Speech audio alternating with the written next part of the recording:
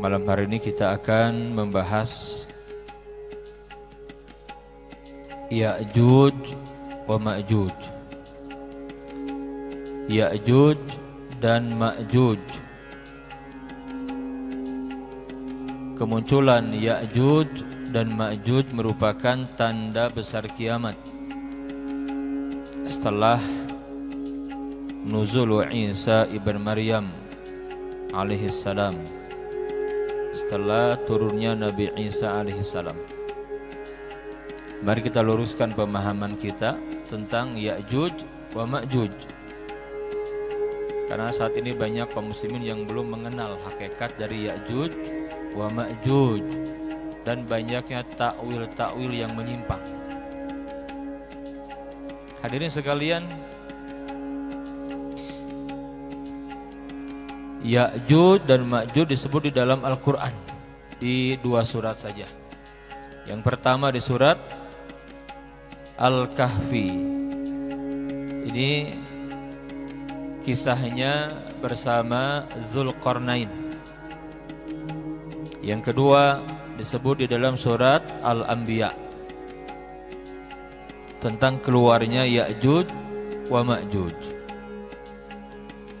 Hadirin sekalian,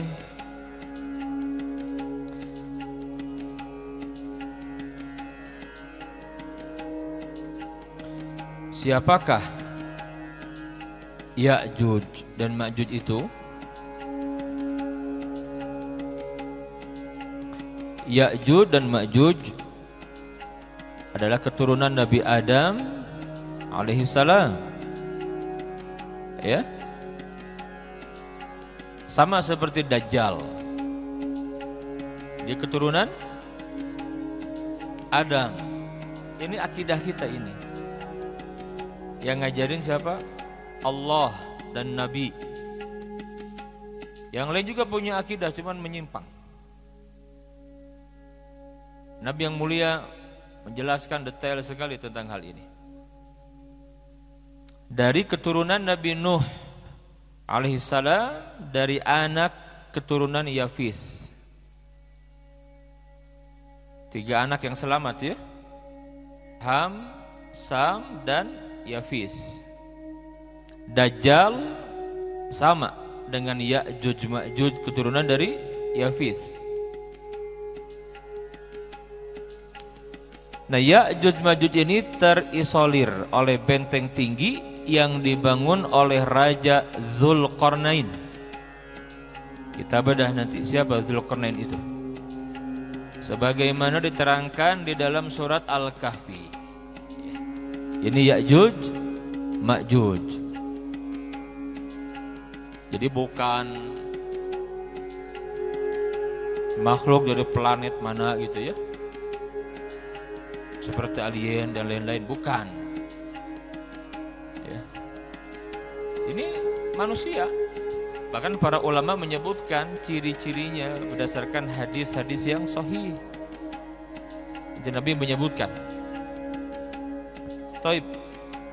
Kita bahas bagaimana sifat-sifat Ya'juj dan Ma'juj ini sebagai tanda besar kiamat. Jadi kalau berbicara tanda besar berarti kejadian yang tidak lazim. Ya. Yang keluar dari sunatullah. Udah bukan perkara biasa lagi. Itulah tanda besar kiamat begitu extraordinary. Jadi bukan yang biasa, hal yang spektakuler, ini hal yang keluar dari kebiasaan. Sebagaimana terbitnya matahari dari tempat tenggelamnya, ini kan bukan hal yang biasa. Kemudian Furujul Masih Dajjal, Ad-Dukhan, itu bukan hal yang biasa. Dabatul Ard, munculnya binatang melata yang bisa berbicara dan lain-lain. Taib kita bahas. Ada satu hadis yang dikeluarkan Imam Al-Bukhari dan kita akan baca syarahnya dari Imam Ibnu Hajar Al-Asqalani rahimahullahu taala dalam kitab Fathul Bari. Kita lihat. An Abi Sa'idin Al-Khudri radhiyallahu anhu. Dari Abu Sa'id Al-Khudri radhiyallahu anhu. Ini salah ngetik, mohon maaf saya. Harusuh. Anin Nabi sallallahu alaihi wasallam. Dari Nabi yang mulia sallallahu alaihi wasallam. Qala Beliau bersabda Yaqulullahu ta'ala Allah Ta'ala berfirman Ya Adam Wahai Adam Fayaqulu Adam menjawab Labbaika wa sa'daik. Ya. Labbaika wa sa'daik. Aku sambut panggilanmu dengan senang hati. Wal khairu fi yadaik. Dan Kebaikan semuanya berada Di tanganmu ya Allah di sisimu Fayaqul maka Allah Ta'ala berfirman Akhrij. Keluarkan Ba'san nar. Pasukan penghuni neraka. Jadi keluarkan yang akan menghuni neraka. Qala Ada bertanya Wa ma ba'sun nar? Kata Adam Ya Allah apa itu pasukan penghuni neraka Qala. Allah Ta'ala berfirman min kulli alfin tis'ami'atin wa tis'atan wa tis'ina fa'indahu yashibus saghir wa tada'u kullu zati hamlin hamlaha wa taron nasa sukara wa mahum bisukara walakin azaban syadid azabun syadid. Disebutkan di sini Allah berfirman mereka dari setiap seribu orang 999 orang maka ketika itu anak kecil menjadi beruban. Ya. Hari kiamat ini maksudnya setiap yang hamil melahirkan apa yang dikandungnya Dan kamu lihat orang-orang seakan-akan mabuk, wa mahum bisukaro, padahal mereka tidak mabuk saking dahsyatnya kiamat. Walakin azabun syadid akan tetapi disebabkan azab Allah Ta'ala yang sangat keras. Qalu para sahabat bertanya waktu itu. Ya Rasulullah, wa aina dzalikal wahid Ya Rasulullah. Siapa yang satu itu? Qala abshiru fa in minkum rajulan wa min ya'juj wa ma'juj alfan Bergembiralah sesungguhnya penghuni neraka itu dari kalian satu dan dari Ya'juj wa Ma'juj seribu. Ini menunjukkan banyaknya Ya'juj wa Ma'juj. Kita akan bahas nanti. Ada sini dari sini apa? Pelajarannya sifat. Jadi Ya'juj wa Ma'juj min dzurriyyati Adam. Ya, dia manusia. Bukan jin, bukan. Dia manusia. Dzurriyyatu Adam, anak cucu Adam alaihissalam. Jumlahnya banyak. Allah takdirkan dia yang akan menghuni neraka. Di hadis yang lain nanti kemunculan Ya'juj Ma'juj itu satunya kamu dan 999 Ya'juj wa Ma'juj. Itu perbandingannya, Pak. Saking banyaknya gitu.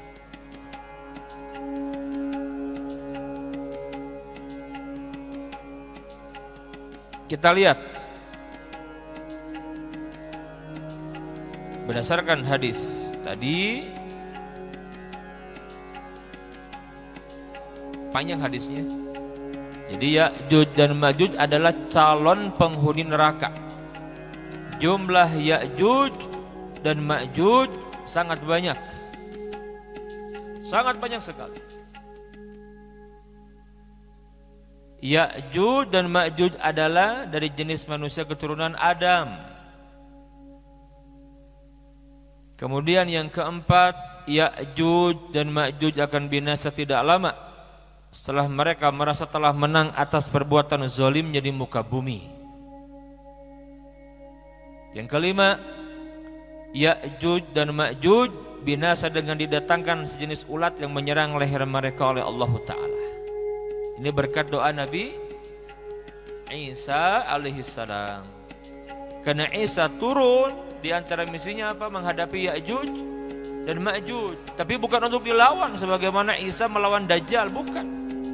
Diperintahkan dalam Quran agar Isa membawa pengikutnya naik ke atas Bukit Tursina. Ya, Bukit Tursina di mana itu? Tursina di mana? Dulu Nabi Musa mendapatkan wahyu. Di mana itu? Di Palestina atau di mana? ada yang di Mesir, ada yang di Yordan. PR PR. Kemudian ada PR kemarin. Apa PR-nya? Ah, ada yang nyata. Umur Nabi Isa berapa ketika diangkat ke atas? Hah? Ada yang tahu nggak? Dapat hadiah nanti. Hah? Ah, hati dalil, mana dalilnya? Ah, nggak tahu gimana. Kata guru saya ya. Baik. Kita lihat hadis yang lain. Nanti kita bahas. Ya'juj dan Ma'juj adalah perusak dan jumlah mereka sangat banyak. Sehingga ketika mereka turun dari gunung seakan-akan air bah yang mengalir. Dia tidak pandai berbicara, Pak. sulit dipahami. Jadi kalau dengan mereka tahu, kalau dengan kita nggak bisa, dengan selain begitu nggak bisa. Gitu. Ya, nanti Zulkarnain saja kesulitan. Gitu. Bermata kecil sipit, hidungnya kecil, lebar mukanya, merah warna kulitnya seakan-akan wajahnya seperti perisai. Ya, ini para ulama menyebutkan yang mirip dengan hadis ini bangsa Mongol bangsa Mongol. Memang itu bagian dari ini nih bagian dari apa? Bagian dari suku atau terah bangsanya Ya'juj dan Ma'juj. Maka jangan heran kalau sebagian ulama menyampaikan Ya'juj Ma'juj itu adalah bangsa Mongol. Ya, Mirip-mirip begitulah. Kabayang tuh orang Mongol jago Kulagukan itu yang menghancurkan. Daulah Bani Abbasiyah di Baghdad. Bayangkan 40 hari itu satu juta lebih jadi korban orang Islam. Habis itu. Dibunuh oleh pasukan Tatar dari Mongol. Terkenal. Pengisnya itu. Nanti kita bahas ya depan jika tema besar sejarah peradaban Islam kita bahas nanti. Nah, kita tahu kemunculan Mongol dulu ini sedikit saya cerita itu menggemparkan dunia Islam. Kaget orang Islam Pak. Kemunculan pasukan Mongol sampai ada mitos di hadapan di kalangan muslimin waktu itu pasukan Tatar, Mongol kuat, nggak akan bisa dikalahkan begitu. Daun mental orang-orang Islam mudah tuh dari Baghdad ke Syam terus habis itu nggak berdaya. Ya, tinggalkan kampung gelap atau kami habisi. Pada pergi orang Islam takut. Tetapi Allah hadirkan seorang mujahid dari Mesir, Saifuddin Qutus. Oh luar biasa ini. Dia yang menghapuskan mitos itu gitu. Pasukan Tatar itu bisa dikalahkan gitu. Enggak, enggak ada yang mustahil bagi Allah kalau Allah tolong betul tidak.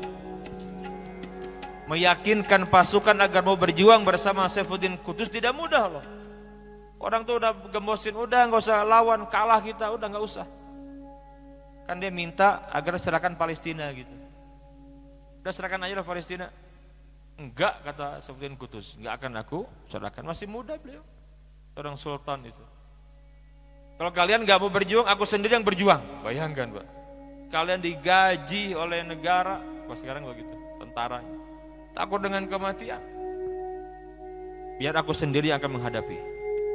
Karena panglimanya begitu luar biasa beraninya, ikut juga yang lain gitu kan. Perang terjadi itu dahsyat.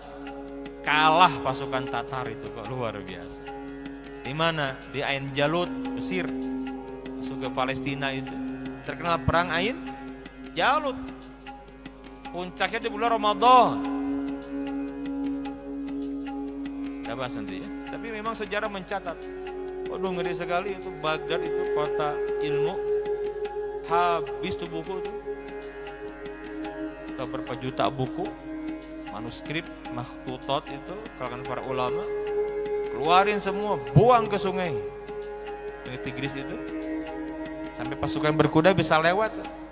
Jadi jembatan gitu. Berubah warna airnya jadi hitam karena tinta yang yang larut mencair jadi berubah jadi hitam warnanya gitu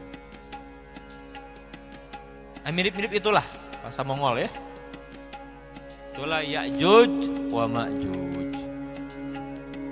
Taib sekarang keberadaan Ya'juj Ma'juj. Ini di mana ini makhluk ini sekarang gitu kan? Karena Allah sembunyikan Pak.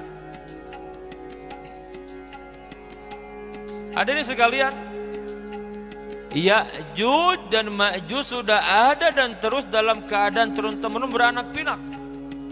Tidaklah kata Nabi meninggal satu orang dari mereka kecuali lahir seribu orang lebih.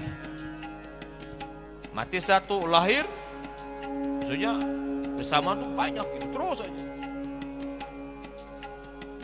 Sebagaimana disebutkan di dalam riwayat yang sahih Abdullah bin Amr radhiyallahu anhu meriwayatkan dan juga Al Hakim dalam Mustadraknya tentang Ya'juj wa Ma'juj ini.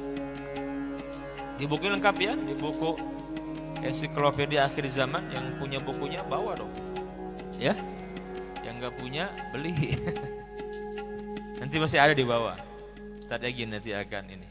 Yang mau bukunya masih ada di bawah ya. Biar di dibaca, kaji. Ini buku yang paling bagus saat ini. Saya rekomendasikan ya buku ini, lengkap sekali. Karena ini buku yang lengkap. Sang penulis seorang ahlul hadis. Jadi enggak tekstual banget gitu. Dia menyampaikan itu kekinian disebutkan seperti apa. Tapi tidak kebablasan juga takwilnya sebagaimana ada dalam YouTube tuh Imran Hussein atau tahu nggak Imran Hussein dalam itu banyak kan? dia banyak mentakwil itu Imran Hussein, Syekh Imran Hussein. Kita hormat kepada beliau sebagai orang yang sering mengingatkan tentang akhir zaman, Pak. Syekh Imran Hussein. Itu banyak. Tapi takwilnya berlebihan. Gitu ya. Matahari terbit dari barat itu bukan mataharinya, tapi itu menunjukkan kebangkitan Islam dari barat katanya. Dajjal itu nggak ada sosok makhluknya yang ada masih sistem aja gitu. Itu Syekh Ibrahim Hussein. Oh kita tolak sebenarnya. Kita meyakini sistem Dajjal ada termasuk Dajjalnya ada gitu kan. Ada sosok makhluk yang bernama Dajjal. Wong Nabi menyebutkan detail kita sudah bahas kemarin bagaimana Isa membunuh Dajjal itu gimana? Mau ditayul seperti apa? Nggak bisa. Hadisnya mutawatir lagi. Jawab bagaimana itu? Kita hormat. Saya juga istifadah dari penjelasan beliau dalam beberapa hal, tapi kita nggak nerima juga, nggak asal sembarang nerima. Karena ini babnya bab akidah, perkara gaib. Kembali kepada nas. Kalau Allah, kalau Rasul, kalau sahabat, para ulama, salaf yang aman itu kita ikut mereka. Dan ulama-ulama sekarang yang berada di atas jalan itu, gitu, yang dia paham. Nah penulis kitab ini, Syekh Dr. Muhammad Ahmad Al-Mubayyad, Ahlul Hadis dari Gaza, Palestina. Dia kuliah sampai doktor di bidang hadis. Gak cuma ngajar tapi ikut jihad. Beda bukunya itu kalau dibaca itu ada ruhnya gitu. Kerasa ya, tidak sebatas menyuguhkan teks saja gitu kan, Quran enggak, tapi dia mengomentar itu dalam sekali. Terutama kalau sudah bahas tentang Yahudi itu dalam sekali karena dia bertemu dengan musuh bebuyutan depan matanya gitu kan. Beda, tulisan tentang Yahudi itu beda.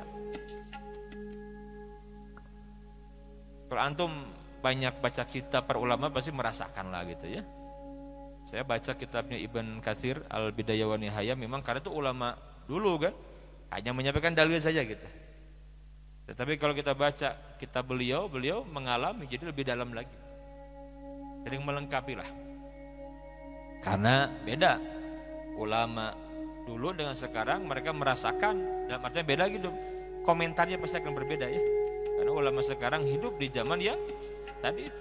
Yang mimpin peradaban Islam bukan yang mimpin bumi bukan Islam, bukan muslimin tapi Yahudi. Jadi beda dong. Toib, ini Ya'juj dan Ma'juj. Seperti apa kesombongan Ya'juj dan Ma'juj? Kita lihat ya sebelum kita bedah nanti bahwa berbicara tentang makhluk ini dua bangsa ini kita akan bedah di surat Al-Kahfi dan surat Al-Anbiya dan bagaimana akhir nasib dari Ya'juj Ma'juj dan apa pelajaran buat kita kita bedah nanti insyaallah. Nah, kita bahas dulu tentang kesombongan Ya'juj dan Ma'juj. Hadirin sekalian, urutannya bagaimana? Jadi dia keluar Ya'juj dan Ma'juj ini keluar setelah kaum muslimin bersama Al-Mahdi Ingat mendengar Al-Mahdi langsung harus terbayang atau sudah ngaji di sini ya. Bukan nama orang itu gelar. Namanya Muhammad atau Ahmad ibn Abdullah dia Amirul Mukminin fi akhir zaman. Dia pemimpin orang-orang beriman di akhir zaman min dzurriyyatin nabi. Anak cucu nabi dari jalur uh, Al Hasan ibn Ali suami dari Fatimah binti Rasulullah sallallahu alaihi wasallam sudah kita bedah Kenapa yang dipilih dari jalan Al Husain, Al Hasan? Kita meyakini Al Sunnah gitu ya. Sudah kita bedah alasannya. Taib. Isa turun. Di sana puncak peperangan melawan Yahudi dan Tuhannya Yahudi. Gitu. Pemimpin Yahudi, Dajjal itu Al Masihud Dajjal. Ya. Jadi ketika terjadi peperangan Al Mahdi bersama mujahidin terbaik di akhir zaman terbaik ya mujahidin yang terbaik. Melawan Yahudi yang menjadi pengikut Dajjal. Aksar tiba'id Dajjal al-Yahud kata Nabi. Yang banyak ngikutin Dajjal itu Yahudi disebutkan jumlahnya dalam hadis yang lain 70 ribu min Yahudi Isfahan sekarang di Iran ya di Iran. Dan memang banyak orang-orang Yahudi di Iran itu banyak. Yahudi itu mirip dengan Syiah. Syiah mirip dengan Yahudi. Agama berdasarkan ras. Nah hadirin sekalian maka nanti setelah kalah tuh Dajjal dibunuh sama Nabi Isa di Babul Lut di Palestina Isa kembali ke Damaskus. Muslimin ber, berkonsolidasi perang melawan Yahudi. Yahudi tahu kan udah kalah Tuhannya gitu kan, udah kalah pemimpinnya itu. Dikejar, lari ke mana-mana. Di Palestina lari. Dari siapa nyambung itu sama itu kan? Damaskus, Suriah, nyambung ke Palestina, Yordania, Libanon, itu ke Irak, ke Mesir, itu kan satu itu. Hadirin sekalian, ya, dikejar, maka berlakulah hadis Nabi yang mulia menjadi kenyataan. Faqala Nabi sallallahu alaihi wasallam hadis yang sahih Bukhari Muslim meriwayatkan apa kata Nabi la taqumus kiamat tidak akan terjadi hatta yuqatilal muslimun al yahud hingga orang-orang Islam akan berperang melawan Yahudi. Ini hadis Nabi Pak. Saya beriman demi Allah akan terjadi dan yang menang kita orang Islam. Fayaktuluhumul muslimun. Muslimin menang melawan orang-orang Yahudi, kalah mereka dibunuh sama muslimin. Ya. Hatta yahtabi al yahudiyu min wara'il hajar awis syajar. Itu Yahudi lari. Sembunyi di balik pohon dan di balik batu di balik tembok. Fayakulul hajar was syajar. Pohon tembok atau batu berbicara ingat ini sudah dunia sudah dalam keadaan munculnya tanda-tanda besar kiamat saya katakan tadi ya bukan biasa lagi. Tanda-tanda besar. Jangan pakai logika jangan. Orang beriman itu tunduk kepada wahyu. Kalau Allah kalau Rasul baru gunakan akal kita ya? Akal yang salim yang selamat itu yang dibimbing wahyu. Bukan akal yang ngakal-ngakalin wahyu. Itulah orang-orang Mu'tazilah itu begitu. Kita enggak. Akal yang sehat dan kita terima nasnya. Sekarang belum paham sekarang.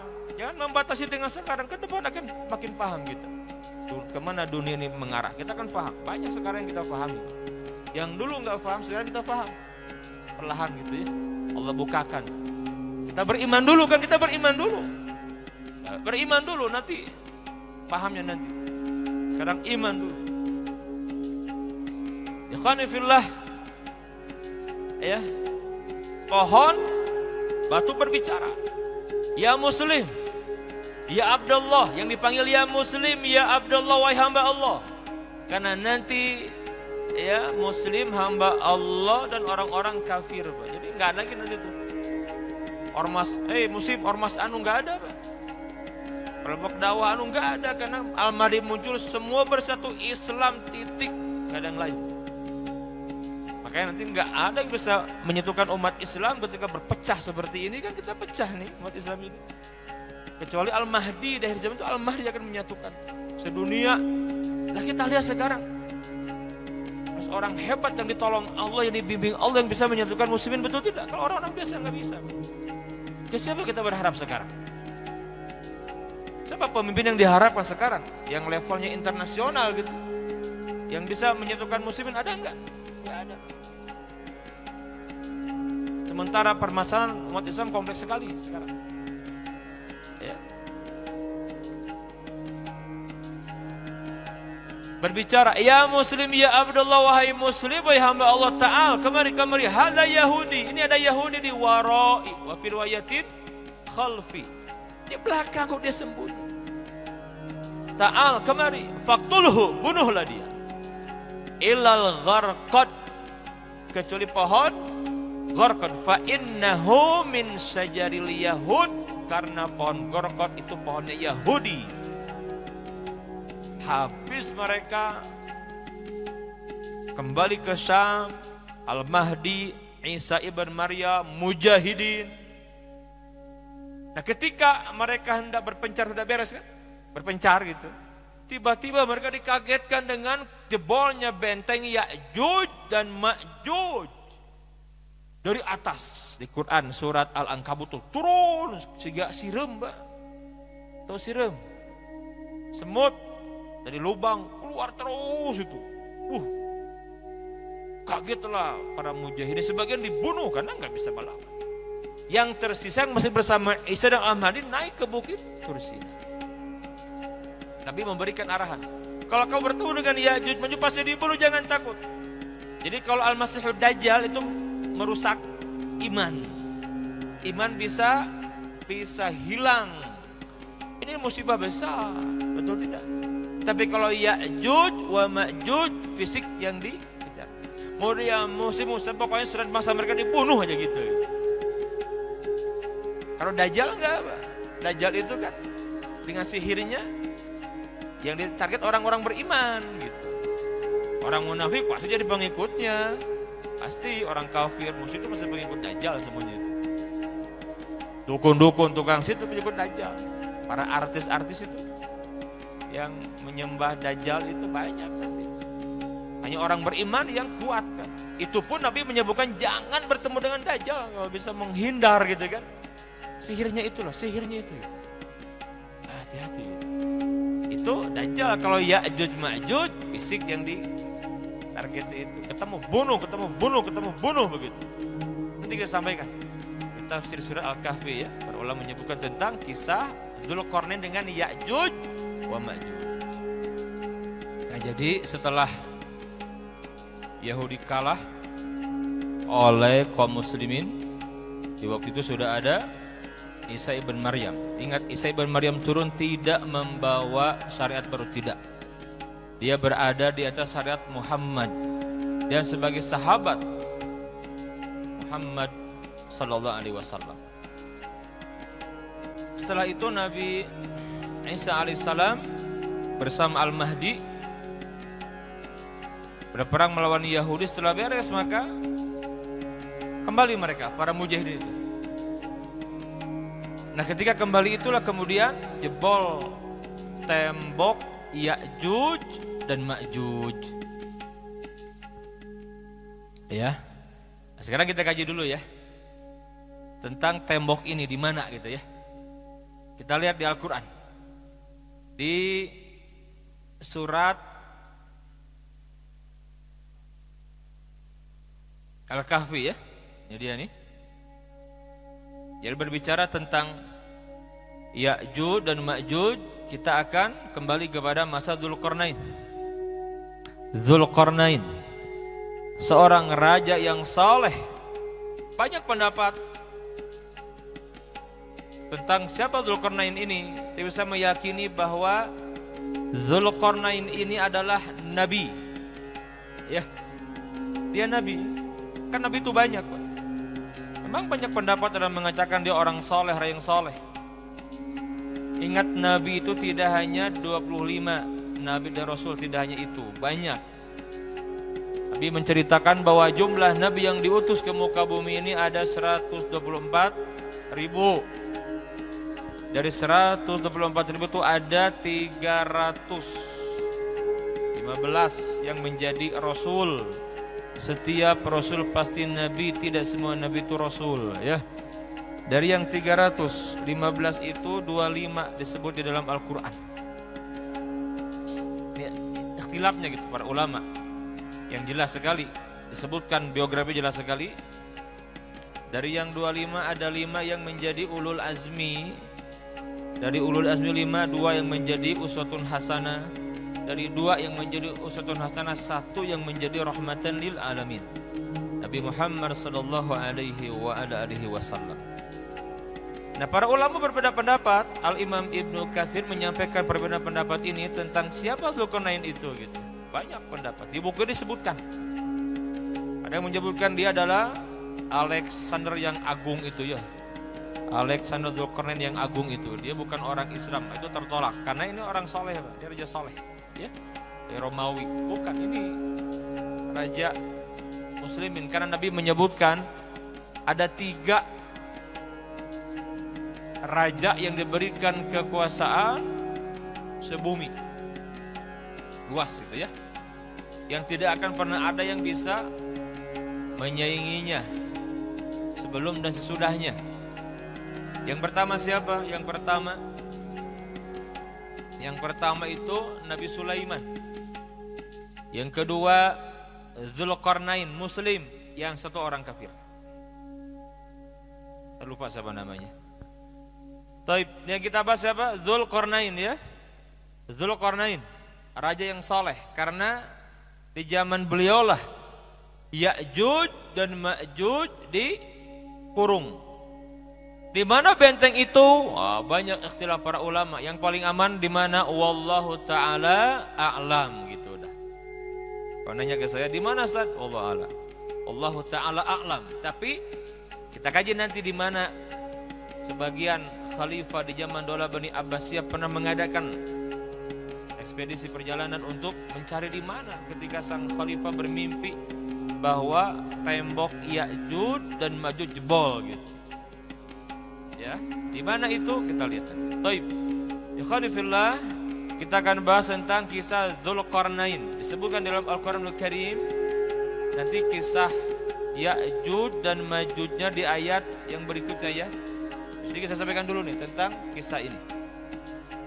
Di mana Allah taala berfirman, "Wa yas'alunaka an Dzulqarnain." Mereka akan bertanya kepada Muhammad tentang Zulkarnain. Qul sa'atlu alaikum minhu dzikra. Katakanlah aku akan bacakan kepadamu sebagian dari kisahnya ada minhu. Sebagian dari kisahnya. Ya semua. Yang pentingnya ajalah gitu yang paling esensinya apa sih? Maka ketika Quran membawakan kisah Dzulkarnain yang diangkat ada apa? Leadershipnya, kepemimpinannya dia seorang pemimpin raja yang soleh. Itu Dzulkarnain. Ya. Ini kalimatnya inna makanna lahu fil ardi wa atainahu min kulli syai'in sababa.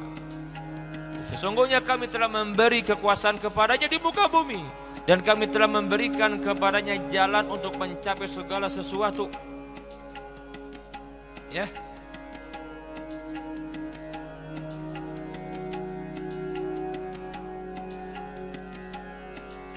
Kita langsung saja. Kali ini pembahasannya, kita langsung ke kisah Ya'juj dan Ma'jujnya ya karena waktu terbatas ini. Taib. Dimulai dari ayat keberapa? Nah, dari ayat ke 92.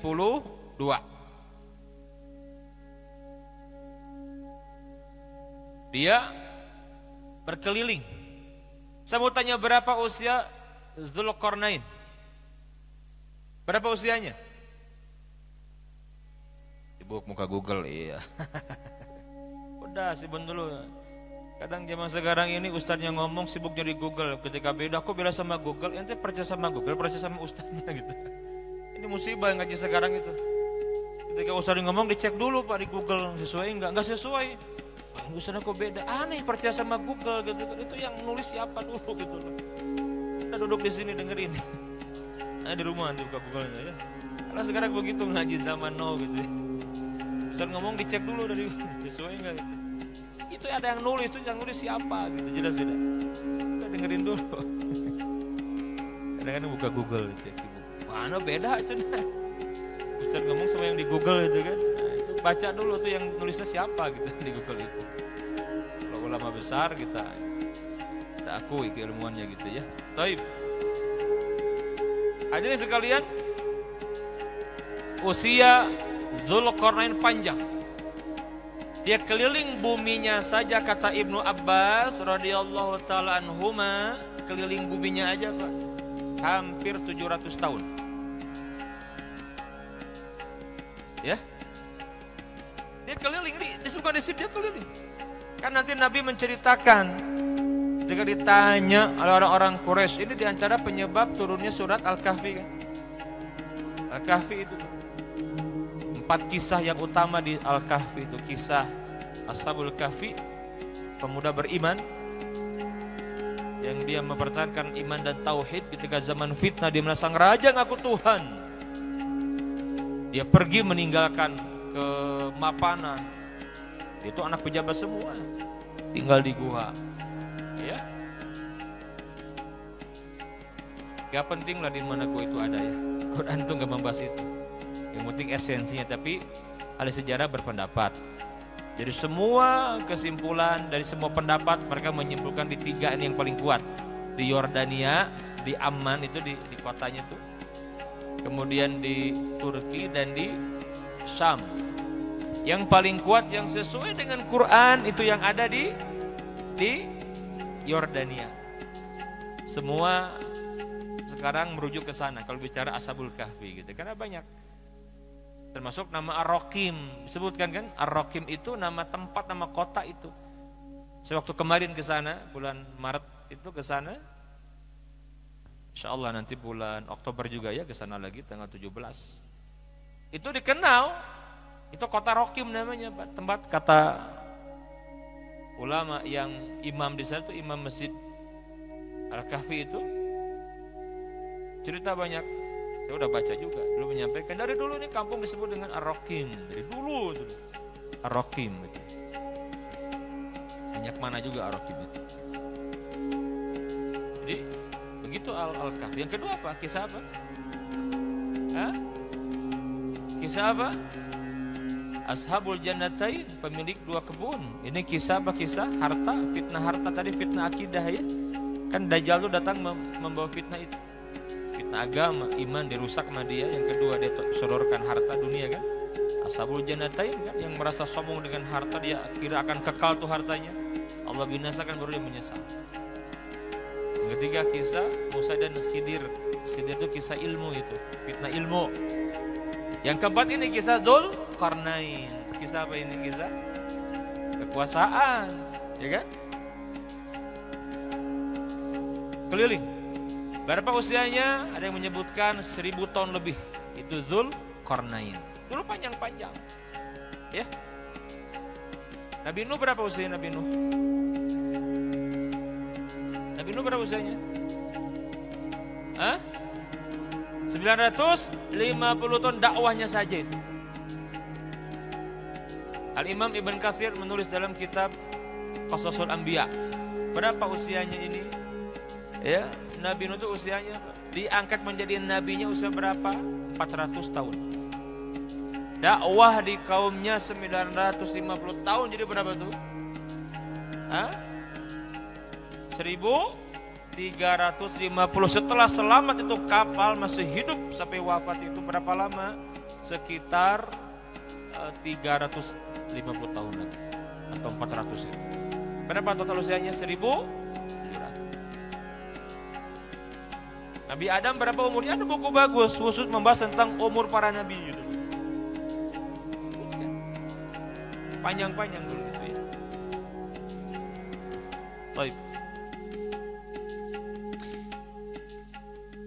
Jadi Zulkarnain keliling Kenapa? Dia ngecek rakyatnya. Kondisi rakyat itulah pemimpin luar biasa. Dia keliling bumi dia itu, didatangi semua. Mungkin dulu pernah ke sini juga gitu. Dulu kan, kalau bicara konteks umum ayatnya begitu kan. Mungkin gitu, pernah ke sini juga tuh Zulkarnain karena semua dia datangi, Pak. Itulah hebatnya Zulkarnain, raja yang sangat soleh, adil dan dia tanggung jawab kepada rakyatnya. Eh diabadikan di sini ya ini kisah bermula ini di ayat ini nih tentang Ya'juj dan Ma'juj. Faqala ta'ala thumma atba'a sababa. Kemudian dia menempuh suatu jalan yang lain lagi. Kita kan ke timur ke barat kan dia keliling. Taib.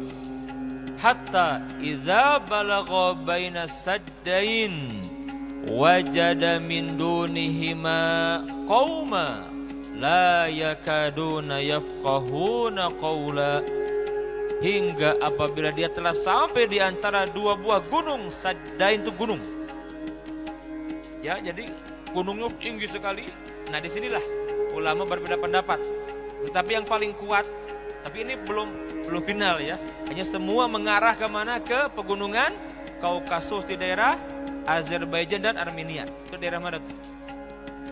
Rusia itu. Sana. Memang di sana ada pegunungan menyeramkan sekali. Dulu pernah ada orang kita, kalau nggak salah putranya Abu Bakar Bashir, pernah sengaja ke sana. Tahu yang mana gitu. Memang Neliti, sengaja datang ke sana. Putranya Ustaz Abu Bakar Ba'asyir. Kalau tidak salah Ustaz Abdul Rahim, putra beliau.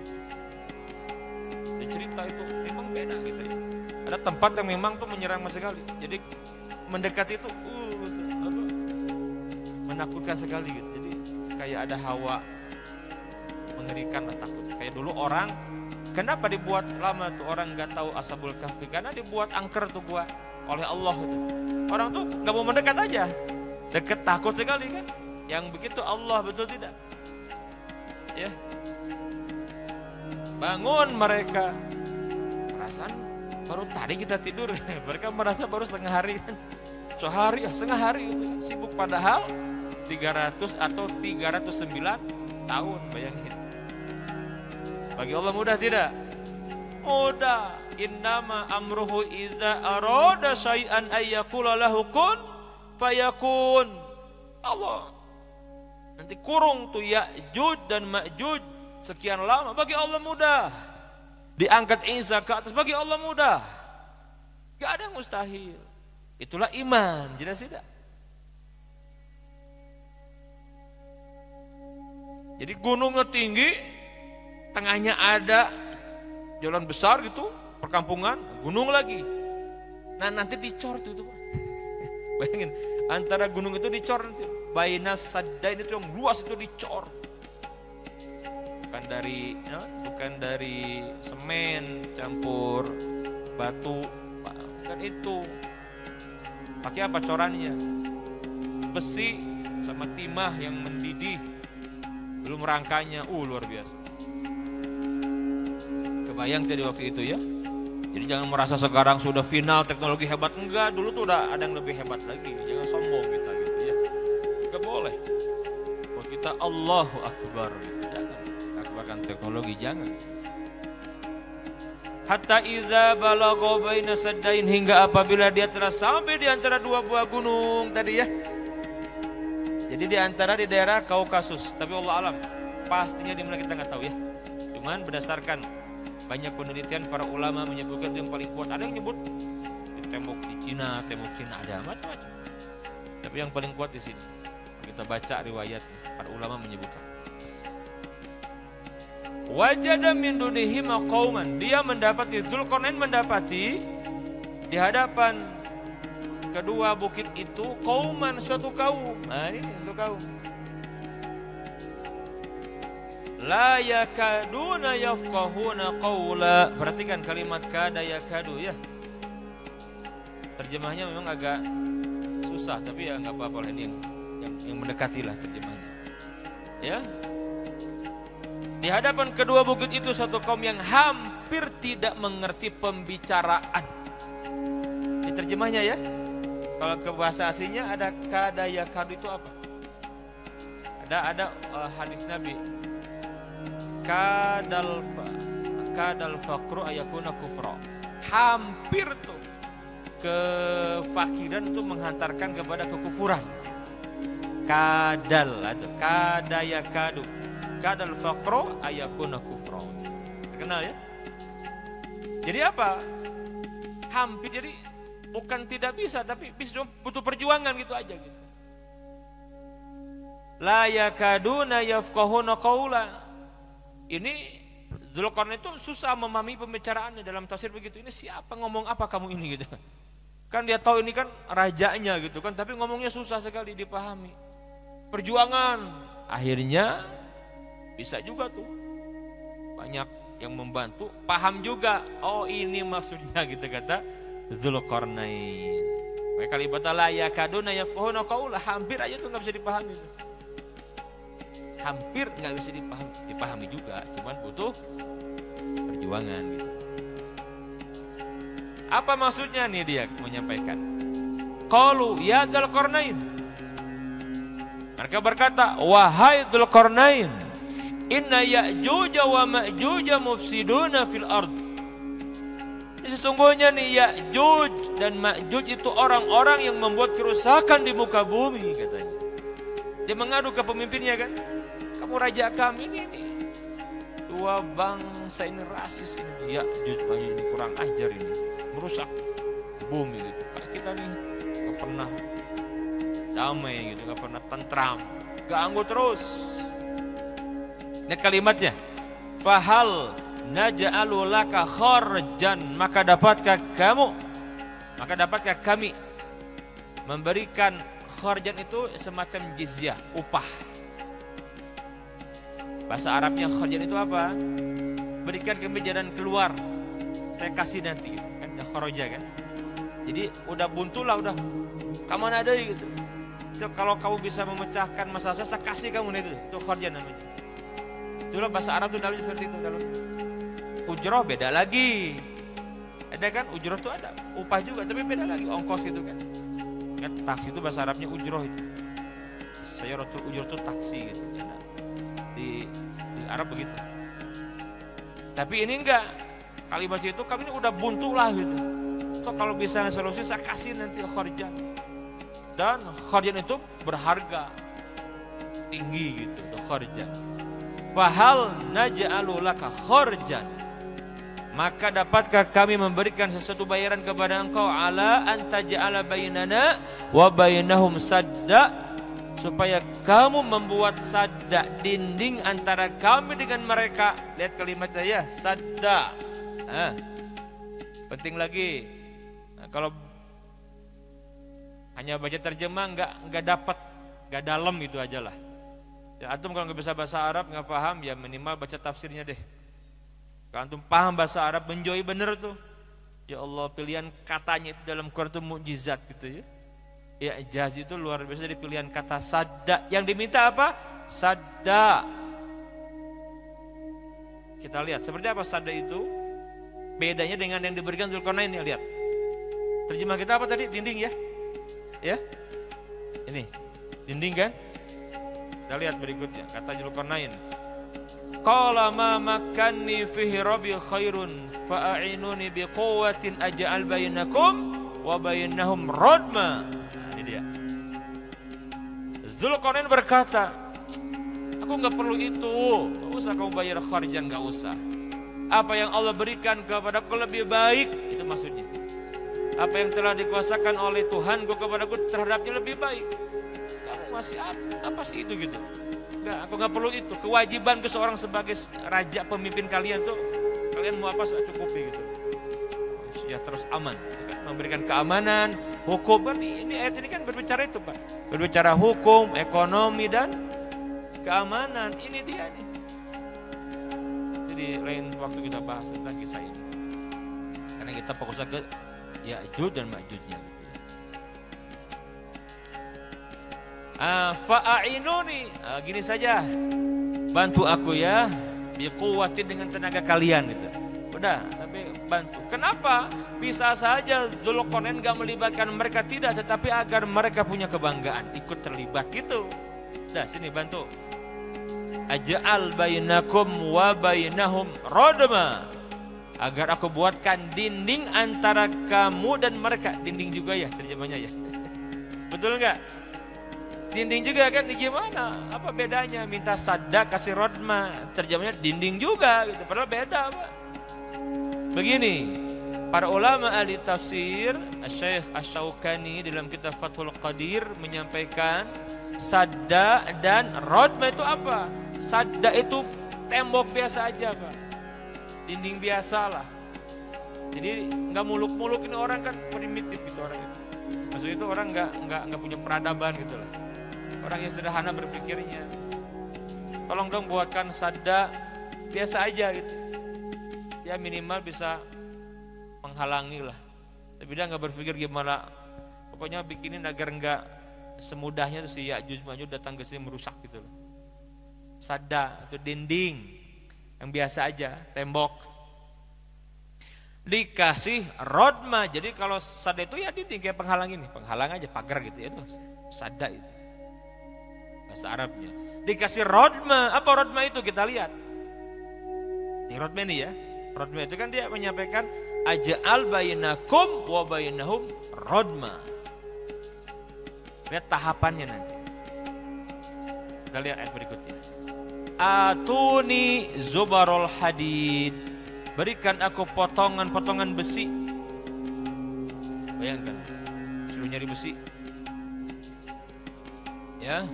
Hatta idza sawa bainas sadafain. Hingga apabila besi itu telah sama rata dengan kedua puncak gunung itu, maksudnya dia bikin rangkanya. Kebayang rangka. Ada nggak saya yang bisa begitu? Gunung tinggi itu, yang rangka beton. Ada nggak? Yang sekarang aku hebat bikin begitu ada nggak? Wah, yang berapa tingginya itu? Itu maksudnya. Kala maka Zulkarnain berkata, unfuhu, tiup, oh, dipanaskan, tiup. Api itu. Hatta iza ja'alahu naro hingga apabila besi itu sudah menjadi merah seperti api. Kan besi gitu kalau dipanaskan kan? Ini kebayang teknologi dulu seperti apa gitu ya. hebatnya gitu. Bahula, jadi jangan merasa dulu sekarang paling paling hebat. Enggak dulu tuh pernah ada. Lihat Quran mengabadikan kisahnya kaum Samud kaum Ad yang gede-gede tuh bukit di gunung batu tuh di dipahat diukir jadi istana itu. Sekarang masih ada di Petra itu kan di Yordan itu Petra. Kalau ke sana itu wah uh, itu luar biasa megahnya bahula gitu kan. Belum lagi di Saudi Arabia sekarang. E, namanya Madinatul Ula. Kaum Nabi Soleh. Ya Madian Alhamdulillah saya beberapa kali ke sana. Ingin tahu saja ada Tiras emang dari Madinah capek. Sekitar berapa jam? 5 jam itu. Ya ke ke Madinatul Ula itu jauh sekali. Itu kan hampir ke Syam itu. Kan Madinah kan utara ya. Ke utara Madinah Khaybar itu sekarang kota besar Khaybar itu. Madinah Khaybar Madinatul Ula Tabuk baru perbatasan kan dengan Syam nanti ada e, Mu'tah Mu'tah itu udah masuk wilayah Yordan sekarang, di Yordania, Syam. Baik. Hatta iza ja'alahu naro hingga apabila besi itu sudah menjadi merah seperti api, qala kembali Zulkarnain berkata, "Atuni, berilah aku afriga alaiki toro tembaga yang mendidih Afrika alai agar aku tuangkan ke atas besi panas itu. Lembaga yang mendidih itu. Masukin cor kuma itu ngejar. Bayang kan? Aduh. Luar biasa gitu. Beres. Ingat, Zulkarnain membuat dinding ini melibatkan Allah. Nanti kita lihat lihat berikutnya baca bismillah. Bergantung kepada Allah dia bangun itu. Bukan karena dia hebat bukan tapi Allah yang membuat hebat itu. Ini tawadunya siapa? Zulkarnain. Beres pak. Beres tuh. Oh seneng kan? Wah minta sadar dikasih rot bakal seneng tidak? Minta sadar dikasih rodma wah diluk-lukan hebat kau pun bintang langsung memberikan garansi. Siapa? Dulu karena ini kalimatnya. Famasta'u ayadharuhu wa mastata'u lahu naqba. Kata Zulkarnain, maka Ya'juj Ma'juj tidak bisa mendakinya dan mereka tidak bisa pula melobanginya, enggak akan. Nah, izin Allah, bisa mereka mendaki. Setiap mendaki di hadis ini disebutkan turun dari mendaki terus begitu. Dan mereka wa mas lahu naqaba tidak bisa melobanginya gitu. Wah kok hebat. Oh segala macam dilulukan lihat kalimat Zulkarnain Rajang Saleh. Qala hadza rahmatum min rabbi. Berkata ini dinding ini nih ada rahmat dari Tuhanku Enggak, oh atau sahulah atau itu. Enggak begitu, Pak. Enggak. Ya. Kalimatnya qala hadza rahmatum mir rabbi. Dinding ini adalah rahmat dari Tuhanku. Tetapi nah di sini fa idza jaa wa'du rabbi ja'alahu dakka ya Kata Zulkarnain, maka apabila sudah datang janji Tuhanku, dia akan menjadikannya hancur luluh. Wa kana wa'du rabbi haqqo dan janji Tuhanku pasti benar. Jadi ada expired date-nya gitu. Ada expired juga, enggak, ada kekal lah gitu kan. Tapi disebutkan nanti itu di akhir zaman menjelang kiamat akan dijebol gitu. Ya. Tawadunya Zulkarnain. Maka yang begini-begini yang membuat berkah kekal betul tidak? Zulkarnain. Ya, negeri kita kan kalau kita baca mukadimahnya itu para founding father negeri ini, para pendiri negeri ini kan jujur menyampaikan karena para ulama atas berkat rahmat rahmat siapa? Allah bukan Tuhan atas berkat rahmat Allah yang Maha Kuasa serta didorong oleh keinginan yang luhur. Lihat kalimat. Lihat kalimat. Ya. Ulama kita begitu. Gak ada gara-gara siapa.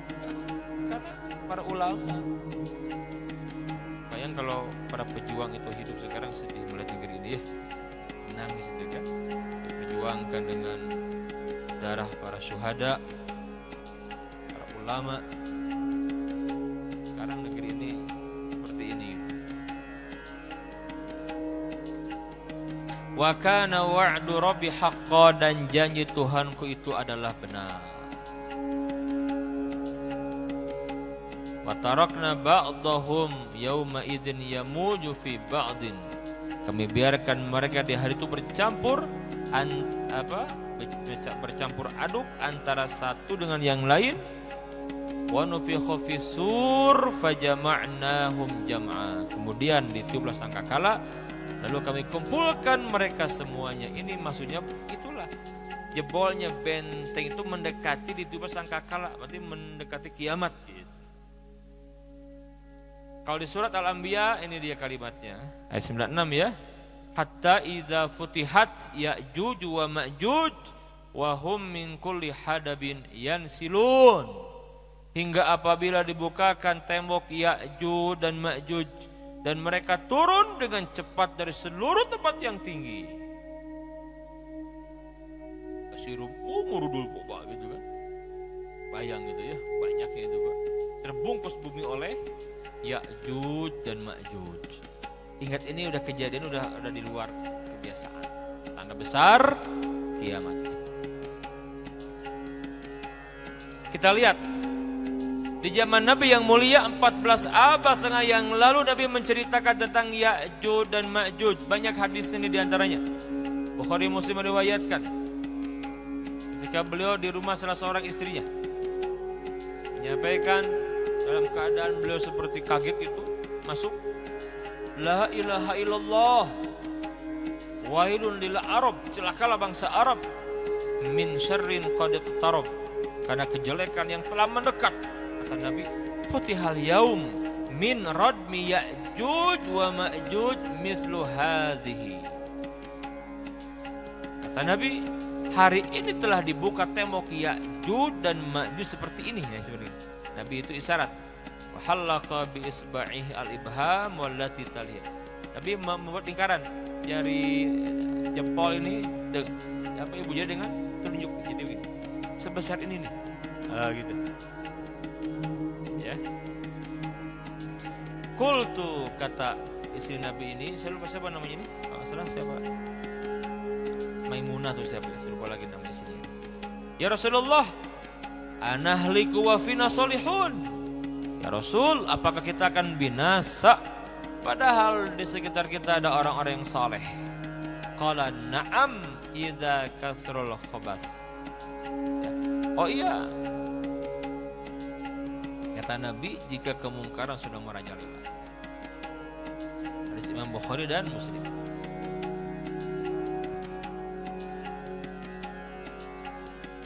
Jadi ya, jadi kita lihat beberapa hadis Nabi yang mulia mengingatkan akan keluarnya Ya'juj dan Ma'juj menjelang hari kiamat tiba. keberadaannya secara pasti menjadi misteri yang belum terpecahkan hingga saat ini. Namun para peneliti mensinyalir persemayaman Ya'juj dan Ma'juj di deretan pegunungan antara Azerbaijan dan Armenia itu. Tapi banyak versi lah gitu ya. Cuman kalau saya pribadi ditanya wallahu a'lam. Dan itu paling aman itu ya. Tapi kalau mau mengkaji secara ilmiah boleh-boleh saja. Karena nanti ada yang menyampaikan di tembok Cina itu ya. Ah macam-macam. Tapi saya lebih condong ke pendapat Syekh Al-Mubayyad ini di Azerbaijan atau Armenia. Ini dulu pernah terjadi. Ini ada beberapa riwayat. Ada yang bernama ulama Syarif Al-Idrisi dalam bukunya mengungkapkan kesimpulan ya riwayat penelitian yang dilakukan oleh Salam. Siapa Salam? Seorang staf peneliti pada masa Khalifah Al-Wathiq billah dari Daulah Bani Abbasiyah ceritakan begini. Jadi Al-Wasik pernah bermimpi bahwa tembok besi yang dibangun Zulkarnain itu untuk menghalau Ya'juj Ma'juj itu terbuka gitu. Dia mimpi dia mimpi. Mimpi itu mendorong khalifah untuk mengetahui ihwal tembok itu. Ia kemudian mem memerintahkan Salam untuk mencari nama orang Salam ini ya. Untuk mencari lokasi tembok Ya'juj dan Ma'juj ditemani 50 orang satu rombongan. Salam bergegas berangkat dalam sebuah ekspedisi petualangan yang memakan biaya yang sangat besar. Dalam kitab Nuzhatul Mustaq ya Al-Idrisi ini pengarangnya menyampaikan Al-Wasik mengeluarkan biaya kurang lebih 5000 dinar sabaraha sekarang. Hah? Besar tidak? uang emas ini satu dinar berapa ya 2,5an gitu lah kan satu dinar sama dengan 4 gram emas berapa agama sekarang? Ya segitulah. 2,5an gitu ya. Berapa tuh 5 kali 2,5 juta berapa? Berapa?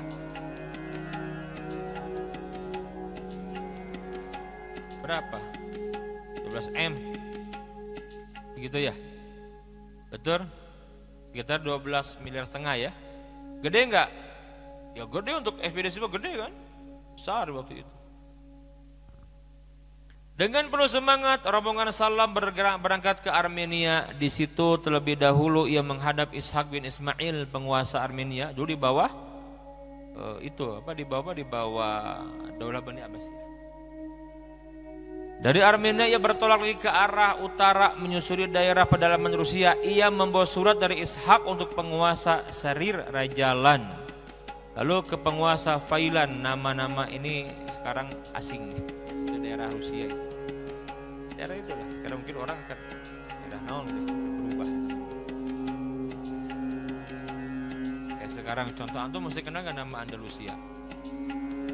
Hah? Tahu nggak Andalus? Tahu nggak Andalusia? Anak sekarang mungkin udah udah udah nggak tahu nyaris hilang itu. Nama Andalusia nyaris hilang. Andalusia. Kalau Spanyol tahu? Portugal tahu? Nah, sekarang tanya Spanyol Portugal. Padahal dulu itu Andalus. Antum tuh berapa lama Islam di sana dulu? 800 tahun 8 abad luar biasa Andalus negeri tauhid yang hilang kenapa hilang? Karena pengkhianatan.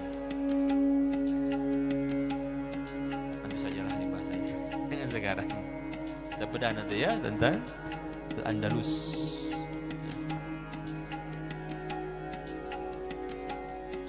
Penguasa Failan mengutus lima penunjuk jalan untuk membantu Salam sampai ke pegunungan Ya'jud dan Ma'jud. Memang nggak tahu di mana pastinya tapi lisan ke lisan masyarakat itu sering menyebut gitu loh. Oh itu ya gitu ini. Udah orang, orang dikenal lah gitu. Orang-orang itu udah udah menyebut tuh gunung Ya'juj Ma'juj gitu aja gitu. Udah, mulut ke mulut itu udah biasa. Selama 27 hari Salam mengarungi puing-puing daerah Bas Jarot, Bas Bas Jarat. Bahasa Arabnya Bas Jarot ya. Sampai akhirnya ia tiba di sebuah daerah luas bertanah hitam dan berbau tidak sedap. Selama 10 hari Salam melewati daerah yang menyesakan itu, ia kemudian tiba di wilayah tak berpenghuni dan berantakan penunjuk jalan mengatakan kepada Salam bahwa daerah itu adalah daerah yang dihancurkan oleh Ya'juj wa Ma'juj di masa silam. Ya kan kita kan turun temurun suka ada, ada berita itu ya. Tiga orang di tangguhan perahu gitu kan. Oh bahalana kan. Ya dongeng-dongeng gitu suka ada gitu ya. Udah mulut ke mulut tuh udah udah jadi berita masyarakat gitu. Penunjuk jalan mengatakan kepada Salam bahwa daerah itu adalah daerah yang dihancurkan oleh Ya'jud dan Ma'jud di masa silam. Enam hari berikutnya mereka berjalan menuju daerah benteng. Daerah itu berpenghuni dan berada tepat di balik gunung tempat Ya'jud dan Ma'jud berada. Ini masyarakat itu begitu gitu. Salam kemudian mendaki pegunungan Ya'jud dan Ma'jud itu di sana ia menyaksikan bentangan gunung yang terpisah oleh lembah yang luasnya sekitar 150 meter. Perasaan mereka terperana begitu menyaksikan gerbang di sela-sela pegunungan. Jadi masih ada kelihatan kayak besi gitu pak, kelihatan. Lebar gerbang ini 137 meter dengan kolom besar di kiri kanan yang terbuat dari bolok-bolok besi yang dicor dengan cairan tembaga. Gambaran gerbang ini percis seperti yang tertulis di surat Al-Kahfi.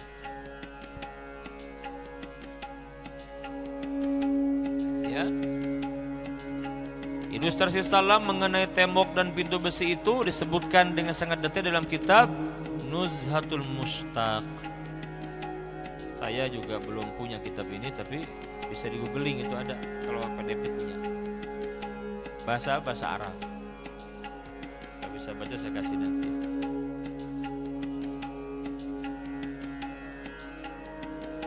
Menurut penuturan salam penduduk di sekitar pegunungan Ya'jud dan Ma'jud biasanya memukul kunci pintu besi sebanyak tiga kali dalam sehari. Jadi kayak ada suara apa gitu. Ya, orang takut, berasa serem gitu. Ini juga yang saya dengar dari Ustaz Abdul Rahim Putra Ustaz Abu Bakar Ba'asyir. Serem lah dikasih ini. Setelah itu mereka menempelkan telinganya ke pintu untuk mendengarkan reaksi di dalam pintu. Ternyata mereka mendengar gemat teriakan dari dalam yang menandai adanya makhluk jenis manusia yang diyakini ya Ma'juj gitu.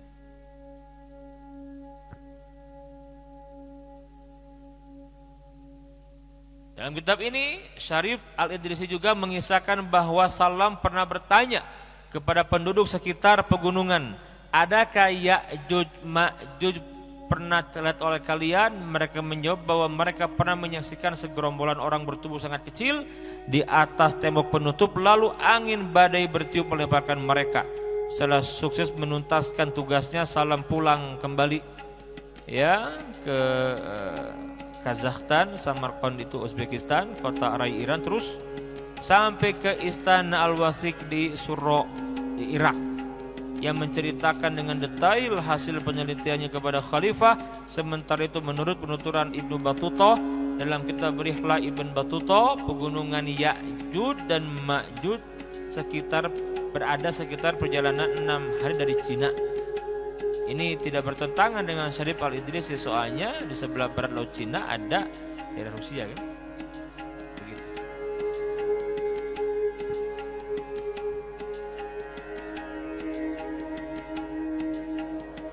banyak lah ya. Kita sampaikan semua. Taib jadi ini dia. Ya'juj dan Ma'juj.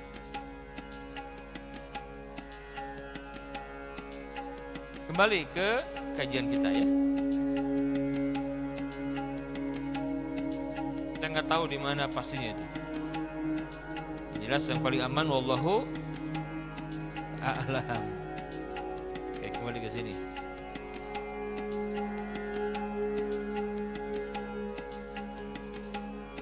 Nah, ini dia nih. Hatta idza futihat Ya'juj wa Ma'juj wa hum min kulli hadabin yansidun. Hingga apabila dibukakan tembok Ya'juj dan Ma'juj mereka turun dengan cepat dari seluruh tempat yang. Turun semuanya. Tidak semua orang kan masih ada orang yang bersama Nabi Isa. Nah ini kan yang menghabisi orang-orang Arab jelas tidak? Karena habis orang Arab nanti oleh Ya'juj dan Ma'juj ini. Hadirin sekalian,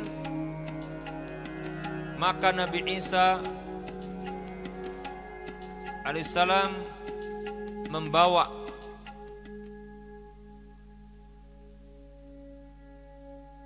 orang-orang yang masih ada bersamanya. Ini tadi kalau kita baca ini disebutkan ya. Wah, ilustrasi. Kebayang itu kan nobar saya kumanya. Mun turun wow gitu kan. Uh, dan engang sirem, engang mengapung. ya sirem kan di, jaya, di bumi. Engang mah hiber atau mah di bumi gitu kan. Di luar kahan apa sirem itu kan kebayang. Baik. Kita lihat. Mereka merusak Lihat kesombongannya ya. Kesombongan Ya'juj Ma'juj. Oh. Pokoknya setiap ketemu orang bunuh, bunuh, bunuh begitu aja. Imam Muslim meriwayatkan, "Tsumma yasirun hatta yantahu ila Jabal Khumar." Kemudian mereka berjalan dan berakhir di Gunung Khumar, ya. Wahwa Jabalun, Jabalu Baitul Maqdis ini salah satu gunung yang ada di Baitul Maqdis di Palestina. Fayakulun kemudian mereka berkata, Lakar qatalna man fil ard.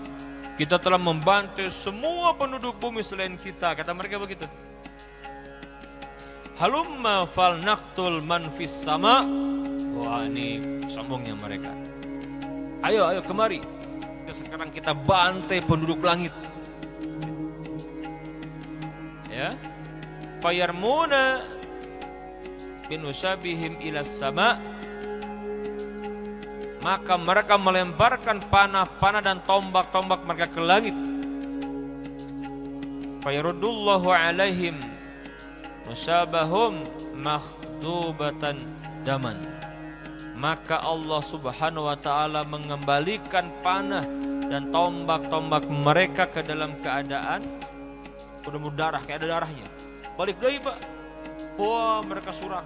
Wah kita membunuh penduduk langit. begitu sombong mereka itu nah mereka mengira bahwa darah tersebut adalah bukti kemenangan mereka melawan penduduk bumi maka ketika itu Allah binasakan seluruhnya pada saat puncak kesombongan mereka dalam waktu yang hampir bersamaan binasanya Ya'juj dan Ma'juj adalah dengan doa Nabi Isa alaihi salam. Seperti apa kita bahas? Ada lagi. Ini kesombongan mereka. Ketemu orang bukan mereka bunuh, bunuh, bunuh. Gitu. Kata Nabi yang mulia, kalau kamu bertemu dengan Ya'juj, jangan dilawan, nggak bisa melawan kita. Oh, Nabi Isa nggak bisa melawan. Kenapa? Atau kabayang jelma sigaki kubah coba misalkan ya segitu banyak gitu penuh gitu gimana paling kamu dibunuh dibunuhnya kamu itu yang mempercepat kamu pindah ke alam akhirat itu kata Nabi yang mulia. Pasti pindah itu mati kan? Jangan takut. Mati punya iman itu bukan musibah. Tapi kalau kita hidup gak punya iman itu musibah besar. Hilang iman oleh dajjal kan? Sihirnya itu kan? Musibah besar. Kalau mati tapi iman isi koma Sahabat juga dibunuh kok. Umar dibunuh, wafatnya. Utsman dibunuh, Ali dibunuh. Umar bin Abdul Aziz diracun. Ya kan? Umar Al-Fatih diracun. Saifuddin Kutus yang hebat itu diracun. Dibunuh sama orang dekat. Jadi biasa aja. Jangan takutlah. Kalau mau berjuang di jalan Allah jangan takut dengan mati itu kuncinya. Ya. Ingin berjuang di jalan Allah jangan takut dengan mati udah. Mati mah biasa aja. Mati bukan perpisahan, robah paradigma kita orang beriman. Sabar, robah. Mati bukan perpisahan, bukan. Perpisahan itu ketika orang tua dan anak, orang tua ke surga, anak ke neraka atau sebaliknya. Kalau kita karena kematian berpisah tapi sama visi misi kita surga nah, itu bukan perpisahan. Udah tunggu aja sebentar gak lama. Betul tidak? Udah. Duluan kumpul di surga. Bapaknya meninggal duluan anaknya meninggal begitu aja. Jangan takut berjuang di jalan Allah jangan takut dengan kematian. Harus cinta dengan kematian itu kuncinya gitu. Islam tuh dulu maju itu Islam ketika kaum muslimin cinta mati cinta akhirat nggak takut mati. Ya, Islam kalau sudah umat Islamnya al-wahan dunia wa karahiyatul maut nah, Islam itu jatuh. Kan begitu ya. Taib kita lihat bagaimana binasanya Ya'juj dan Ma'juj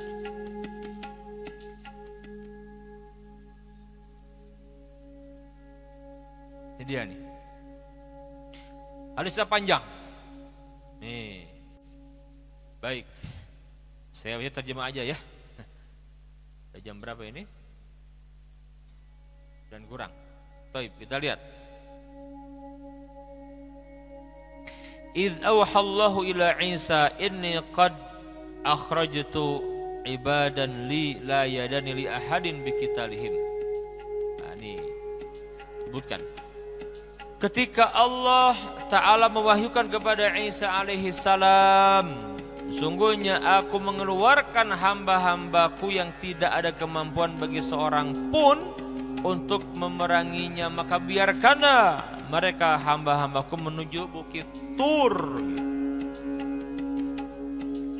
Lalu Allah Subhanahu wa taala keluarkan Ya'juj dan Ma'juj dan mereka mengalir dari tiap-tiap tempat yang tinggi Kemudian mereka melewati Danau Tobariyah. Nah, Tiberias itu di mana tuh di di Palestina sekarang Israel. Kita kita pada di pembahasan Dajjal ya. Buhairatul Tobariyah Danau Tiberias. Dan meminum seluruh air yang ada padanya. Jadi nggak akan kering nggak, tapi menyusut. Jadi Dajjal dekat keluar tuh air Danau Tiberias itu menyusut bukan kering tapi menyusut pak, menyusut. Jadi kedalaman 46 atau 47 meter itu sekarang menjadi sedikit sekali kelihatan dasar tapi nggak habis yang menghabiskan siapa? Ya'juj dan Ma'juj mereka meminum seluruh air yang ada padanya. Hingga ketika barisan paling belakang mereka sampai di danau Tiberias itu berkata loh kan di sini banyak air kok habis? Kebayang lo mana kalau tuh harap minum semua kan. Beak gitu kan paling belakang. Beak China ke mana kebayang gitu kan. Coba ini danau luas sekali. Manusia berapa sih? Kalau kita minum air sungai sungai Ciliwung mau tapi misalkan kita minum gitu kan. Ke, berapa nih kalau kita berapa? Ratus juta kita ya. Nggak habis mau habis minum sekali minum. Saking banyaknya mereka gitu loh Ketika itu tergabunglah Nabiullah Isa alaihissalam dan para sahabatnya berserta umat muslimin. Hingga kepala sapi ketika itu lebih berharga untuk mereka daripada 100 dinar kalian sekarang ini. Ini kalimatnya banyak tafsiran ya. Kenapa? Karena mereka dikepungan. Dikepung coba gimana? Susah kan? Jadi kepala sapi lebih berharga. Ini saking apa? Jadi itu nggak berharga harta itu, ya daripada dinar kan? Nggak ada harganya lah gitu. Orang itu ingin selamat bagaimana gitu.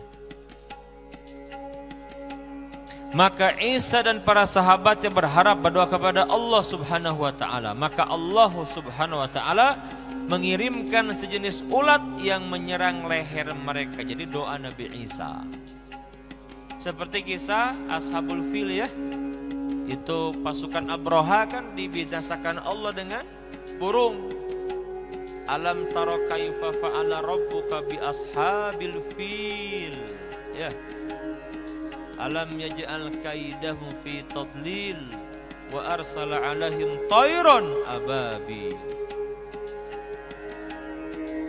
Tarmihim bihijaratin min sijil. Mudah ya? Mudah bagi Allah. Pernah terjadi. Nah menurut aja dulu yang sombong kurang ajar ngaku Tuhan itu dikirim aja nyamuk masuk ke irung dimakan tuh otaknya sih.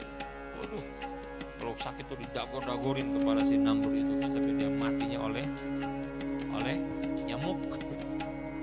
Cara Allah menghinakan begitu yang sombong ngaku Tuhan oleh nyamuk matinya.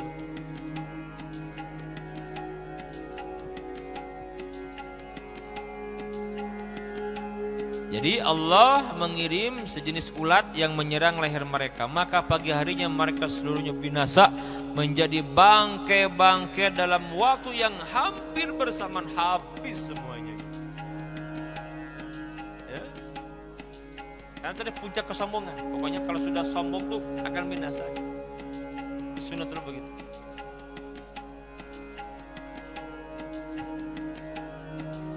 Kemudian turunlah dari gunung Tur Isa dan para sahabatnya. Maka tidak didapati satu jengkal pun tempat kecuali dipenuhi oleh bangke dan bau busuk Ya'juj dan Ma'juj.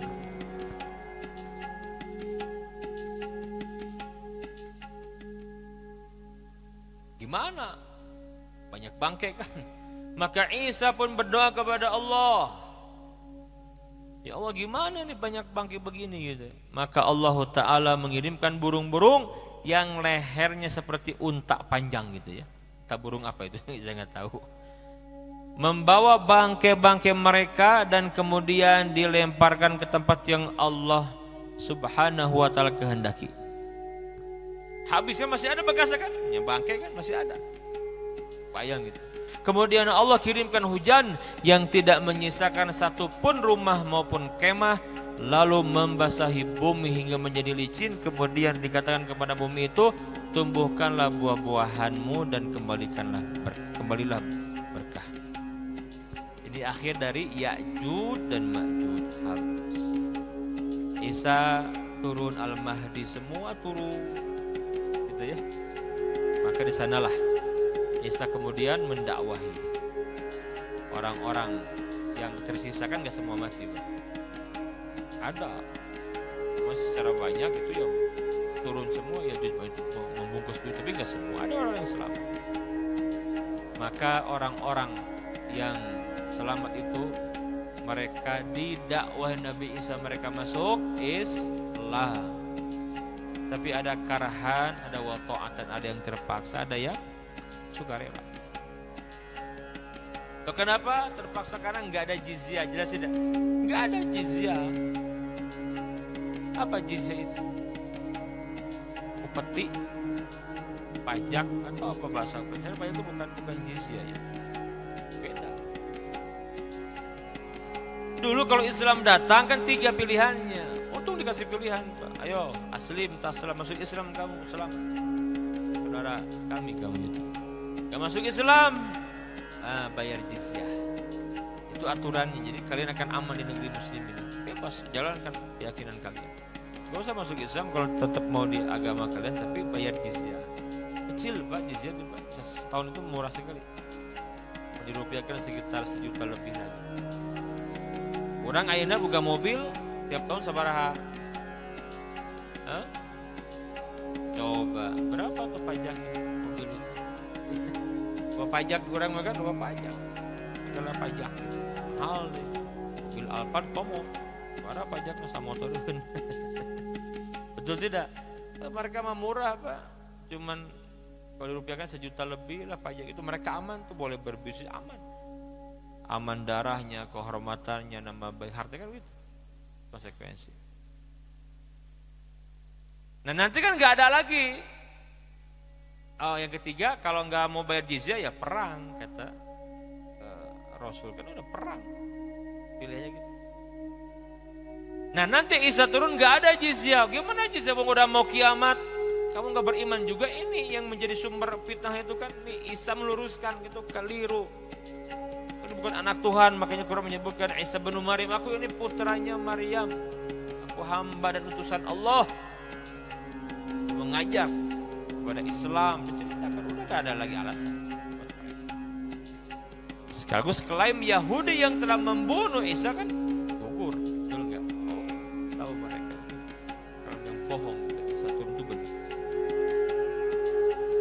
Nah ketika itulah puncak kemakmuran Isa bersama umat 40 tahun. Puncak kemakmuran. Bumi menumbuhkan tumbuhannya semua menjelang kiamat ya. Janji Allah tidak akan kiamat sebelum Islam menyebar ke semua tempat di mana ada sinar matahari pasti ada Islam gitu kan belum terjadi sebelum setelah runtuh Turki kan belum semua kita Islam ini baru mewarnai seperti gabung gitu ketika runtuhnya Turki Utsmani kan masih banyak yang belum terjemah oleh Islam. Tapi nanti akan Islam. Aman. Ditegakkan hukum Allah. Binatang-binatang buas tidak lagi buas kata Nabi yang mulia. Tapi anak kecil tuh main sama ular tuh biasa aja gitu. Main sama apa sama serigala tuh biasa. Karena berkah. Kalau udah berkah kan Islam yang ditegakkan Islam jangankan manusia, binatang juga dapat rahmatnya gitu. sampai kemudian Allah wafatkan Al-Mahdi dulu. Al-Mahdi wafat, kemudian Isa juga wafat. Ya. Isa wafat. Nah, nanti setelah Isa wafat, orang-orang yang terpaksa tadi kufur lagi gitu lah. Karena hadisnya bagaimana menjelang kiamat itu ada orang-orang yang mengingkar Tapi umat Islam gak lama Ya'juj Ma'juj maka nanti ada matahari terbit dari sebelah barat. Itu begitu. Ketika orang sedang kufur, udah matahari nggak bisa tobat. Kemudian muncul binatang melata, dabatul ardi. Bisa bicara. Pertama muncul di Bukit Sofa di Mekah. Jadi dia ngasih tanda tuh mana orang mukmin mana Isa sepeninggal Isa ya. Kan Isa nanti akan haji. Isa akan haji ke Mekah nanti. Meninggal dan dimakamkan di Masjid Nabawi di Madinah. Samping makam Rasul ya. Rasul Abu Bakar Umar tiada. Karena makamnya Isa ibn Maryam. Nah, kemudian orang-orang Islam diwafatkan yang punya iman oleh angin yang berhembus dari arah Yaman Iman sekecil apa pun diwafatkan oleh angin itu. Ini mahanya iman. Ya, mahanya iman. Semua wafat. Berakhirlah umat Islam sampai di sana.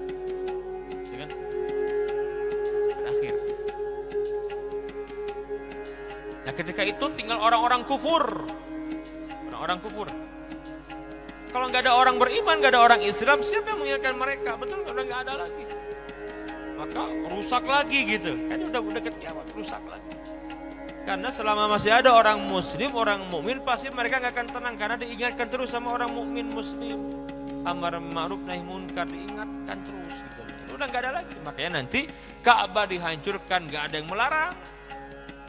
Mushaf Quran ditulis eh, apa di, diangkat tulisannya oleh Allah Taala. Orang-orang berhubungan suami istri di jalan-jalan tuh udah biasa aja kayak binatang. Udah kan nggak nggak tahu itu salah kadang ngingetin lagi kan? Kadang ngingetin lagi. Mana bicara kiamat yang udah nggak tahu? Makanya kan di, di Quran disebutkan kiamat datangnya tiba-tiba. Nggak nyangka akan kiamat. Karena nggak ada orang ngingetin lagi kan sekarang antum pada inget ya kan? Makanya ada rasa takut di sini kan mempersiapkan.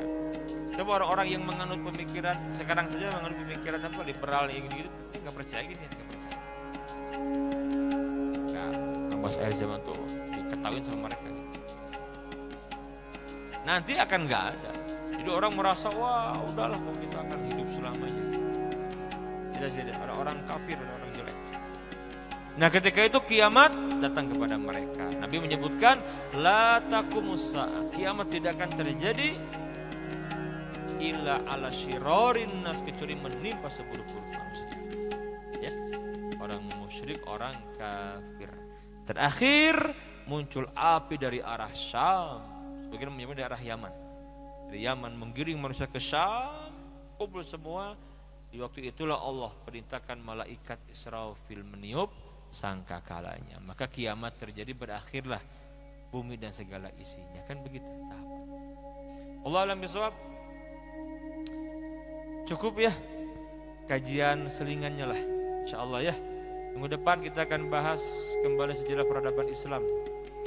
Ya, kita akan bahas banyak masih banyak materi cuman nanti saja lah. Ada Islamic worldview penting itu cara pandang Islam tapi kita bahas nanti insya Allah ya di sela-sela kajian sejarah peradaban Islam. Baik kita akan pada insya Allah nanti ke depan kita akan bahas tentang sejarah Daulah Bani Umayyah ya. Dulu udah bahas sirah Nabi sudah di masjid ini, sirah sahabat sudah semua. Kita bahas nanti dari zaman Daulah Bani Umayyah ya. Bedah nanti Islam seperti apa. Ya, sejarah kita lanjut lagi. Daulah Bani Umayyah. Kemudian nanti di zaman itulah Islam nyebar ke Andalusia terus kita bedah nanti ke Daulah Bani Abbasiyah Turki Utsmani kita akan bedah semua sampai Islam masuk ke Nusantara ini ya kita bedah insya Allah baik yang disampaikan kalau ada pertanyaan dari antum sekalian bolehlah satu dua ya yang mau nanya saya beri kesempatan sebelum ditutup. Maka Pak Yusra.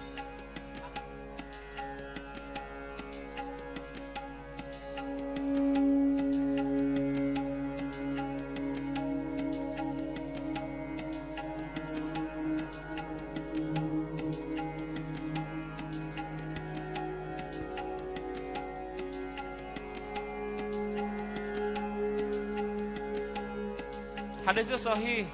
Nabi Adam itu 60 kaki, 60 apa? 60 hasta. Berarti 30 meter tingginya. Iya. Jadi kalau kita lihat sekarang, kita lihat di Petra, kemudian di mana? Di Madinatul Ula di Madian itu kaum Nabi Saleh itu. Ya. Tinggi kan? Dan orang bahula kan tara ringgit. Kita aja makin ke sini makin kecil, kecil, kecil, kecil kan gitu ya. Kebalikan, makanya kebalikan teori monyet si Darwin itu. Kurang ngajar itu, teori monyet itu. Kasih Darwin itu Yahudi itu, primason, Illuminati, dia punya teori manusia dari monyet yang berevolusi kan begitu.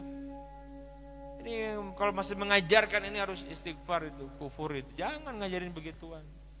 Karena kata si Darwin manusia tidak sempurna asalnya menjadi sempurna kan gitu kan?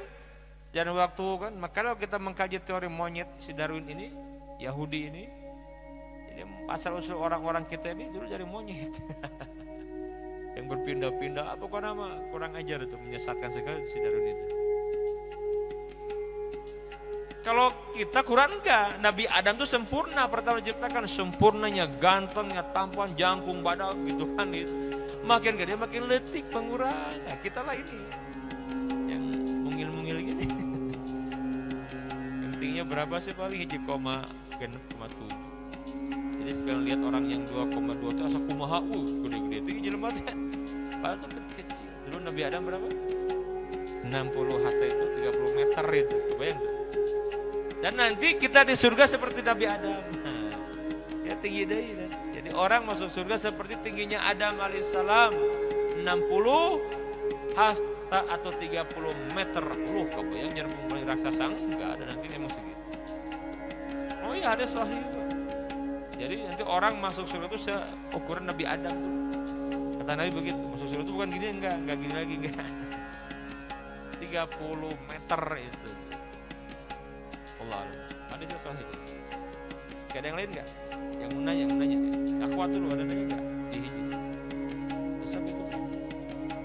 Sebentar. Ada Ada ya. Mana? Panitia ada mikrofon tidak? Kalau nggak ada boleh lah.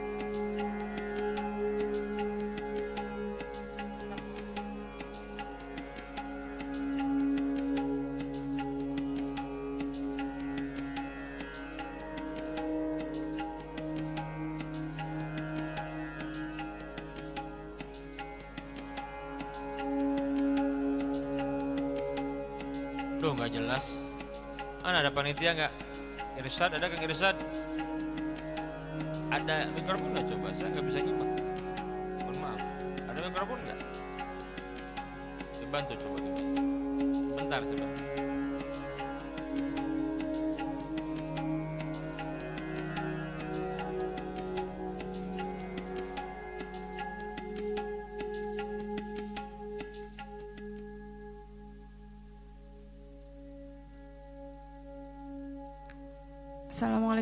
Warahmatullahi wabarakatuh. Ustadz saya mau nanya, kenapa Ya'juj, Ma'juj dan Dajjal itu dari keturunan Yafid padahal eh, Nabi Nuh kan anaknya tiga yang selamat, Sam, Ham, dan Yafid. Kenapa hanya dari Yafid yang menurunkan eh, makhluk-makhluk yang kufur-kufur tersebut? Terima kasih. Kenapa Allah alam? Ya nggak tahu saya dari sananya begitu. nggak tahu ya. Kenapa dari Yafid? Nggak tahu pokoknya ya begitu. Tidak ya saya nggak bisa jawab. Kenapa ya? Emang kenapa saya juga nggak tahu. Udah itu Allah yang menentukan ya. Udah ya nggak akan ditanya itu. Tanyanya ya nggak akan ditanya itu. Coba nanya yang ada hubungan dengan keimanan kita nggak ditanya itu. Kok dari Yafis ya kan nggak semua juga gitu kan. Ada nggak bangsa Mongol yang masuk Islam? Ada. Kulakukan jahat itu bapaknya apa kakeknya. Tapi nanti jangan itu Islam itu. Kenapa? Karena selain Islam itu kalau mereka datang tuh bukan ada peradaban, mereka kan memang benar-benar menjajah, merusak. Gak bertahan lama tuh, gak kuat tuh peradaban Mongol itu, gak kuat tuh karena dia gak punya konsep. Malah nanti masuk Islam kan, unik itu masuk Islam nanti kuat Islamnya pejuang Islam juga gitu. Sama kayak Islam masuk ke Afrika Utara suku barbar kan dulunya melawan ketika Islam tahu oh ya gini Islam itu bagus. Makanya masuk Islam makanya muncul Torik bin Ziyad itu orang barbar Torik bin Ziyad. Masuk Islam usia 39 3 tahun usia 4 berapa? 42 jihad dipilih oleh Musa bin Nusair berangkat ke Andalus menang. Barbar dunia. Jadi nggak kuat mereka kecuali Islam. Islam itu kan memang tidak hanya mengajarkan ritual tidak. Islam itu ideologi, ngajarin juga bagaimana akhlak, bagaimana bangun masyarakat lengkap itu Islam. Itu yang diruntuhkan oleh peradaban Barat. Itu ya. Jadi wallahu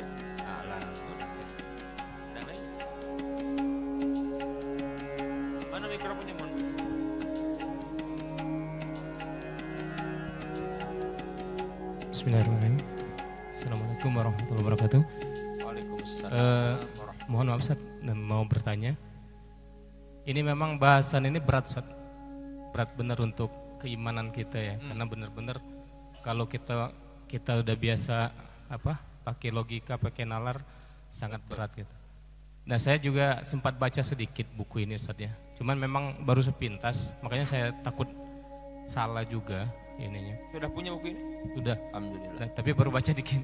Nah, salah satunya saya baca sempat baca ada beberapa hadis terkait dengan eh, hadis Rasulullah Ya. menceritakan tentang ciri-ciri Nabi Isa dan satunya Nabi Musa kalau nggak salah ya. Nabi Musa. Tapi antara hadis itu eh, satu sama lainnya bertentangan, seolah-olah seperti itu, Ustaz. Dan ada yang menarik yang saya pengen saya tanyakan, di situ pun dijelaskan juga ciri-ciri dajjal. Ada ciri dajjal. Dan yang menjadi tanda tanya saya adalah di situ dikatakan bahwa e, Rasulullah itu melihatnya dalam kondisi tawaf. Jadi Nabi Isa tawaf, beliau ceritakan ciri-cirinya dan Dajjal pun diceritakan tawaf juga gitu. Sementara kan yang kita pahami sebelumnya adalah bahwa dia tidak bisa memasuki Haramain kan, masuki Madinah dan Mekah. Tetapi di situ diceritakan dia tawaf. Mungkin bisa mendapat sedikit pencerahan. Baik. Ya, ini bagus pentingnya baca dan bertanya jangan sendiri. Jadi bukan Dajjal masuk ke sana, Nabi diperlihatkan gitu. Itu Pak. Nabi diperlihatkan wajah Dajjal seperti apa. Kan Nabi kan seperti ada seorang seperti si fulan gitu. Nabi Isa diperlihatkan juga seperti siapa diperlihatkan. Kenapa? Karena Nabi pernah bertemu dengan siapa? Isa. Di mana ketemunya? Ya Mi'raj. Tahu kan bahkan ketika melihat sahabat tuh anda seperti si Fulan kan ya, kayak kita lah. Kita ketemu sahabat misalkan kan presiden dulu ada Obama kan. Ayah tak ada orang kita yang mirip kan? Tas gak gitu gitu kan misalnya. Ada nggak? Ada tuh orang. Itu adiknya Pak Erwin Pak. Di sini rumahnya nih. Saya kenal sama Pak Haji Harun itu. Jemaah haji lihat saya suka ngisi kajian di dia di dekat rumah di sana. Punya adik. Nah adiknya ini yang mirip Obama yang juara itu. Pak Jamal jadi presiden kan terkenal kan? Wah ke mana-mana kan? Jadi terkenal. Sekarang ada udah turun jadi terkenal deh biasa deh. Emang tuh mirip banget. Boleh? Kok mirip banget? Tapi Erwin ya, emang mirip. Aneh kan? Orang ini beda sendiri di rumah katanya beda sendiri. Mirip siapa? Eh ayah ayah Obama. Mirip Obama ternyata. Kayak gitulah. Nah si Fulan begitu. Mirip-mirip begitulah. Tapi sebutin Dajjal tuh kayak si Fulan. Kalau ya apa Isa tuh seperti si Fulan disebutin. Kan Nabi diberitahu oleh Allah Ta'ala kan? Nabi ceritakan semua. Maka ketika ada eh, pelaut dari Palestina yang bernama Tamim Adari menceritakan Nabi membenarkan karena oh iya benar itu. Sesuai dengan yang aku sampaikan dapat dari Allah. Tapi Nabi nggak ketemu di pulau itu. Enggak cuman Tamim aja yang, yang ketemu ceritakan Nabi kan tapi apa menyalahkan? Tidak. Benar itu gitu. Yang selama diceritakan memang itu. Nabi begitu karena Nabi dibimbing wahyu oleh Allah. Jadi bukan Dajjal muncul bukan. Jangan salah paham. Hal itu menceritakan Nabi diperlihatkan. Dajjal kayak gimana? Kayak kasih pulan lah gitu karena Nabi ceritakan tuh gompal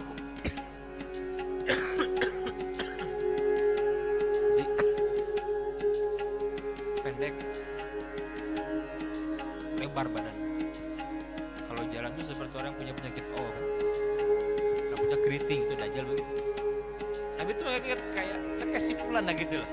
Bukan orang yang datang itu yang datang nak kayak ini gitu kan Nabi. Itu ini seperti dia tuh mukanya itu dajjal tuh gitu mirip-mirip begitu kan. Ya makanya kan dajjal itu manusia bukan jin. Kebayang ya makanya Ibnu Soyad juga di zaman Nabi kan Yahudi itu hampir kecelek juga tuh sahabat. Kayaknya ini dajjal karena Nabi ceritakan ada dia semua. Dulu di kita ada. Sempat ramai itu Said Baba yang dari India itu keriting keribu emang mirip semua ciri tapi kan nggak ada tanda pengiringnya kan? Maka sebagian berasumsi ini jangan dajjal nih si Said Baba ini kan? Ya di sini pengikut itu Anan Krishna itu. Ini agama yang mengerikan sekali ngeri deh. Udah mati juga kan? Mati belum turun isanya berarti bohong.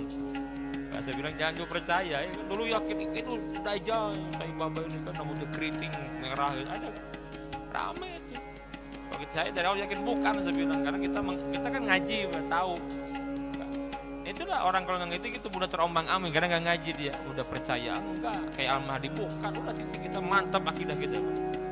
Ancek gitu mau orang ngomong apa enggak. Kayak kita punya keyakinan berdasarkan orang saat bingung gitu kan Al Mahdi benar gitu kita mah enggak. Enggak. Dajjal udah muncul saya bawa enggak bukan. Gitu Kak Eno ngaku ada yang ngaku Isa enggak ada juga kan? Ada yang ngaku Nabi Isa ada juga. Emang mirip boknya panjang gitu kan kayak mirip-mirip Nabi Isa eh bisa aja loh ngurus jenggota sehingga Isa yang dilihat di itu tuh di salib yang kalau di gereja di gambar-gambar Kristen kan ada. Mirip saya lah Isa Nabi Isa yang turun itu katanya gitu. Karya lo jadi mati kita areling gitu kan. Kita mantap enggak bukan. Saya yakin karena enggak itu cirinya. Jadi enggak enggak utuh gitu mungkin sebagian ada mirip tapi sebagainya enggak. Jadi harus harus oh, makanya secara roba itu maksud dari tadi bukan dajjal datang ke sana bukan. Tetapi Nabi menyampaikan seperti itu dajjal wajahnya diperlihatkan kepada sama seperti Nabi Isa diperlihatkan itu pak ya? Allah alam nah, cukup? Ya atau mau nanya? Boleh sok bonus silakan silakan Bismillahirrahmanirrahim. Assalamualaikum warahmatullahi wabarakatuh. Cik. Izin bertanya Ustaz. Hmm, Zulkarnain itu hidup di masa siapa? Gitu? Apakah ada keterangannya dalam sejarah? Tadi kalau Ustadz sampaikan beliau jabatannya sebagai raja. Nah, apakah raja ini ketika di zaman Nabi Sulaiman atau raja pasca Khulafair Rasyidin Cek. Khulafa Rasyidin. Baik. Ini Zulkarnain tidak disebutkan pastinya. Hanya ulama sejarah menyampaikan dia hidup di zaman Nabi Musa. Ada yang menyebutkan hidup di zaman Nabi Daud. Macam-macam. Antum kebayang nggak urutan Nabi? Kali itu kebayang. Kan tadi antum ngaclok maksudnya. Nah, iya jika Khulafa Rasyidin itu kan di zaman zaman Nabi sahabat, wah jangan salah gitu kan. Enggak, bukan itu di sebelum Nabi Muhammad. Ini sebelum Nabi Muhammad. Kalau pasca Khulafaur ini sudah Nabi Muhammad dong. Sebelum Nabi Muhammad.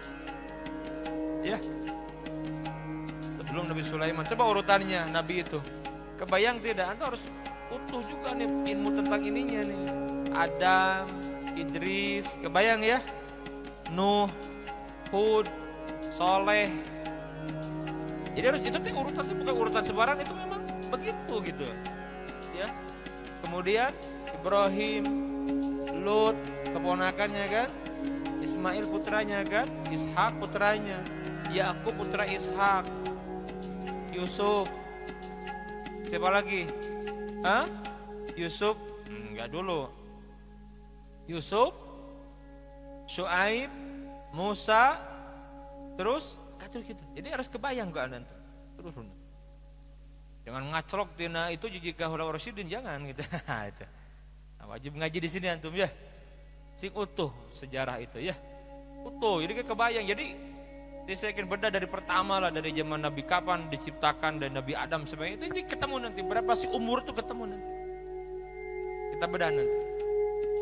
Utuh di sini pemahamannya ya sejarah itu utuh di sini. Jangan kapotong-kapotong karena kita kan tahu kalau membaca sejarah dengan utuh kita ketemu. Ya Allah di sini penyimpangan munculnya ketika ketemu nanti pak. Tambah yakin bahwa memang agama ya Islam satu yang dibawa oleh para nabi itu bukan yang lain gitu. Karena kita nyoto sejarah dari awal. Kapan penyimpangan terjadi kenapa terjadi penyimpangan kita tahu nanti. Oh, di zaman Nabi Nuh maksiat beda ya maksiat sudah ada. Makanya kan uh, terjadi pembunuhan di zaman Nabi Adam kan tapi kan itu bukan kesyirikan membunuh. Ya kan ada aja dosa tapi kesyirikan terjadi di zaman Nabi Nuh. Ketika mengkutus kepada orang-orang soleh. Terus terjadi itu dibinasakan. Di sana munculnya ada fitnah dajjal. Maka yang pertama kali ngingetin umat tentang dajjal Nabi Nuh gitu. Nyambung nanti ada ada ada ada alasan logisnya. Karena si setan udah orang mangus berhasil nih men, menye, menyesatkan manusia kan? Ya berhasil nyembah berhala semua. Eh dihabisi sama Allah oleh banjir itu kan? Oh selamat. Tinggal keluarga Nabi Nuh kan nanti beberapa anaknya kan yang tadi Ham, Sam dan Yafis. Ya, berjuang juga nih bagaimana disesatkan lagi? Kolaborasi dengan Dajjal gitu. Jadi ada begitu jadi anaknya itu. Nanti kita bedah penting ya. Ada ungkapan at-tarikh ya'idu nafsah. Sejarah akan berulang pasti. Saya menyampaikan tentang penyebab runtuhnya Andalusia kemudian eh, Baghdad ada pasukan Tatar Mongol Turki Utsmani. Semua sama polanya. Unsur yang menyebabkan jatuhnya Islam di Andalusia di Turki Utsmani, di Baghdad, itu semua ada di negeri kita sekarang. Ya ketemu karena sejarah begitu. Kata uh, Ibnu Hazm Al-Andalus Islam tidak akan pernah hilang dari muka bumi kata beliau. Ini kan yang membangkitkan Andalus tahap kedua. Ulama abad ke-5 400 tahun 400-an sekian Hijriah. Tetapi siapa yang menjamin Islam masih ada di Andalus itu belum udah mengingatkan. Terbukti kan? Hilanglah Islam dari Andalus. Sekarang ulama sekarang mengingatkan Islam bukan pernah hilang dari muka bumi tapi siapa yang menjamin Islam masih ada di Indonesia 50 100 tahun ke depan. Karena semua unsur yang menyebabkan jatuhnya negara Islam itu ada di kita sekarang. Nah, kalau mau baca pelajaran pentingnya baca buku karangan Dr. Abdul Halim Uwais, ahli sejarah dari Mesir Al-Azhar. Bikin buku judulnya apa? Dirasah. Ya, lisukuti salasina daulah Islamiyah. Jadi studi atas kejatuhan 30 negeri Islam. Sama semua. Belum ada terjemah saya dalam bahasa Arab. Saya punya buku saya Ini bukan punya buku juga namanya At-Takatsur Al-Madi wa Atharuhu fi Sukutil Andalus. Ini oh, berlomba-lomba menumpuk harta dan dampaknya untuk kejatuhan Andalus. Jadi buku dunia gitu. Ya itulah gara-gara perebut jabatan itu sering menghalalkan udah jatuh itu. Kalau Dr. Torik Sweden menyampaikan ketika sinar ahli ilmu para ulama meredup terang benderang sinar para artis itu tandakan jatuh Islam. Sekarang kita seperti itu hidup, betul tidak? Ilmu gak diminati ulama, gak dimuliakan sebagaimana mestinya, tapi artis diagungkan. Masa jadi artis terkenal, uh, bisa jadi pejabat terus.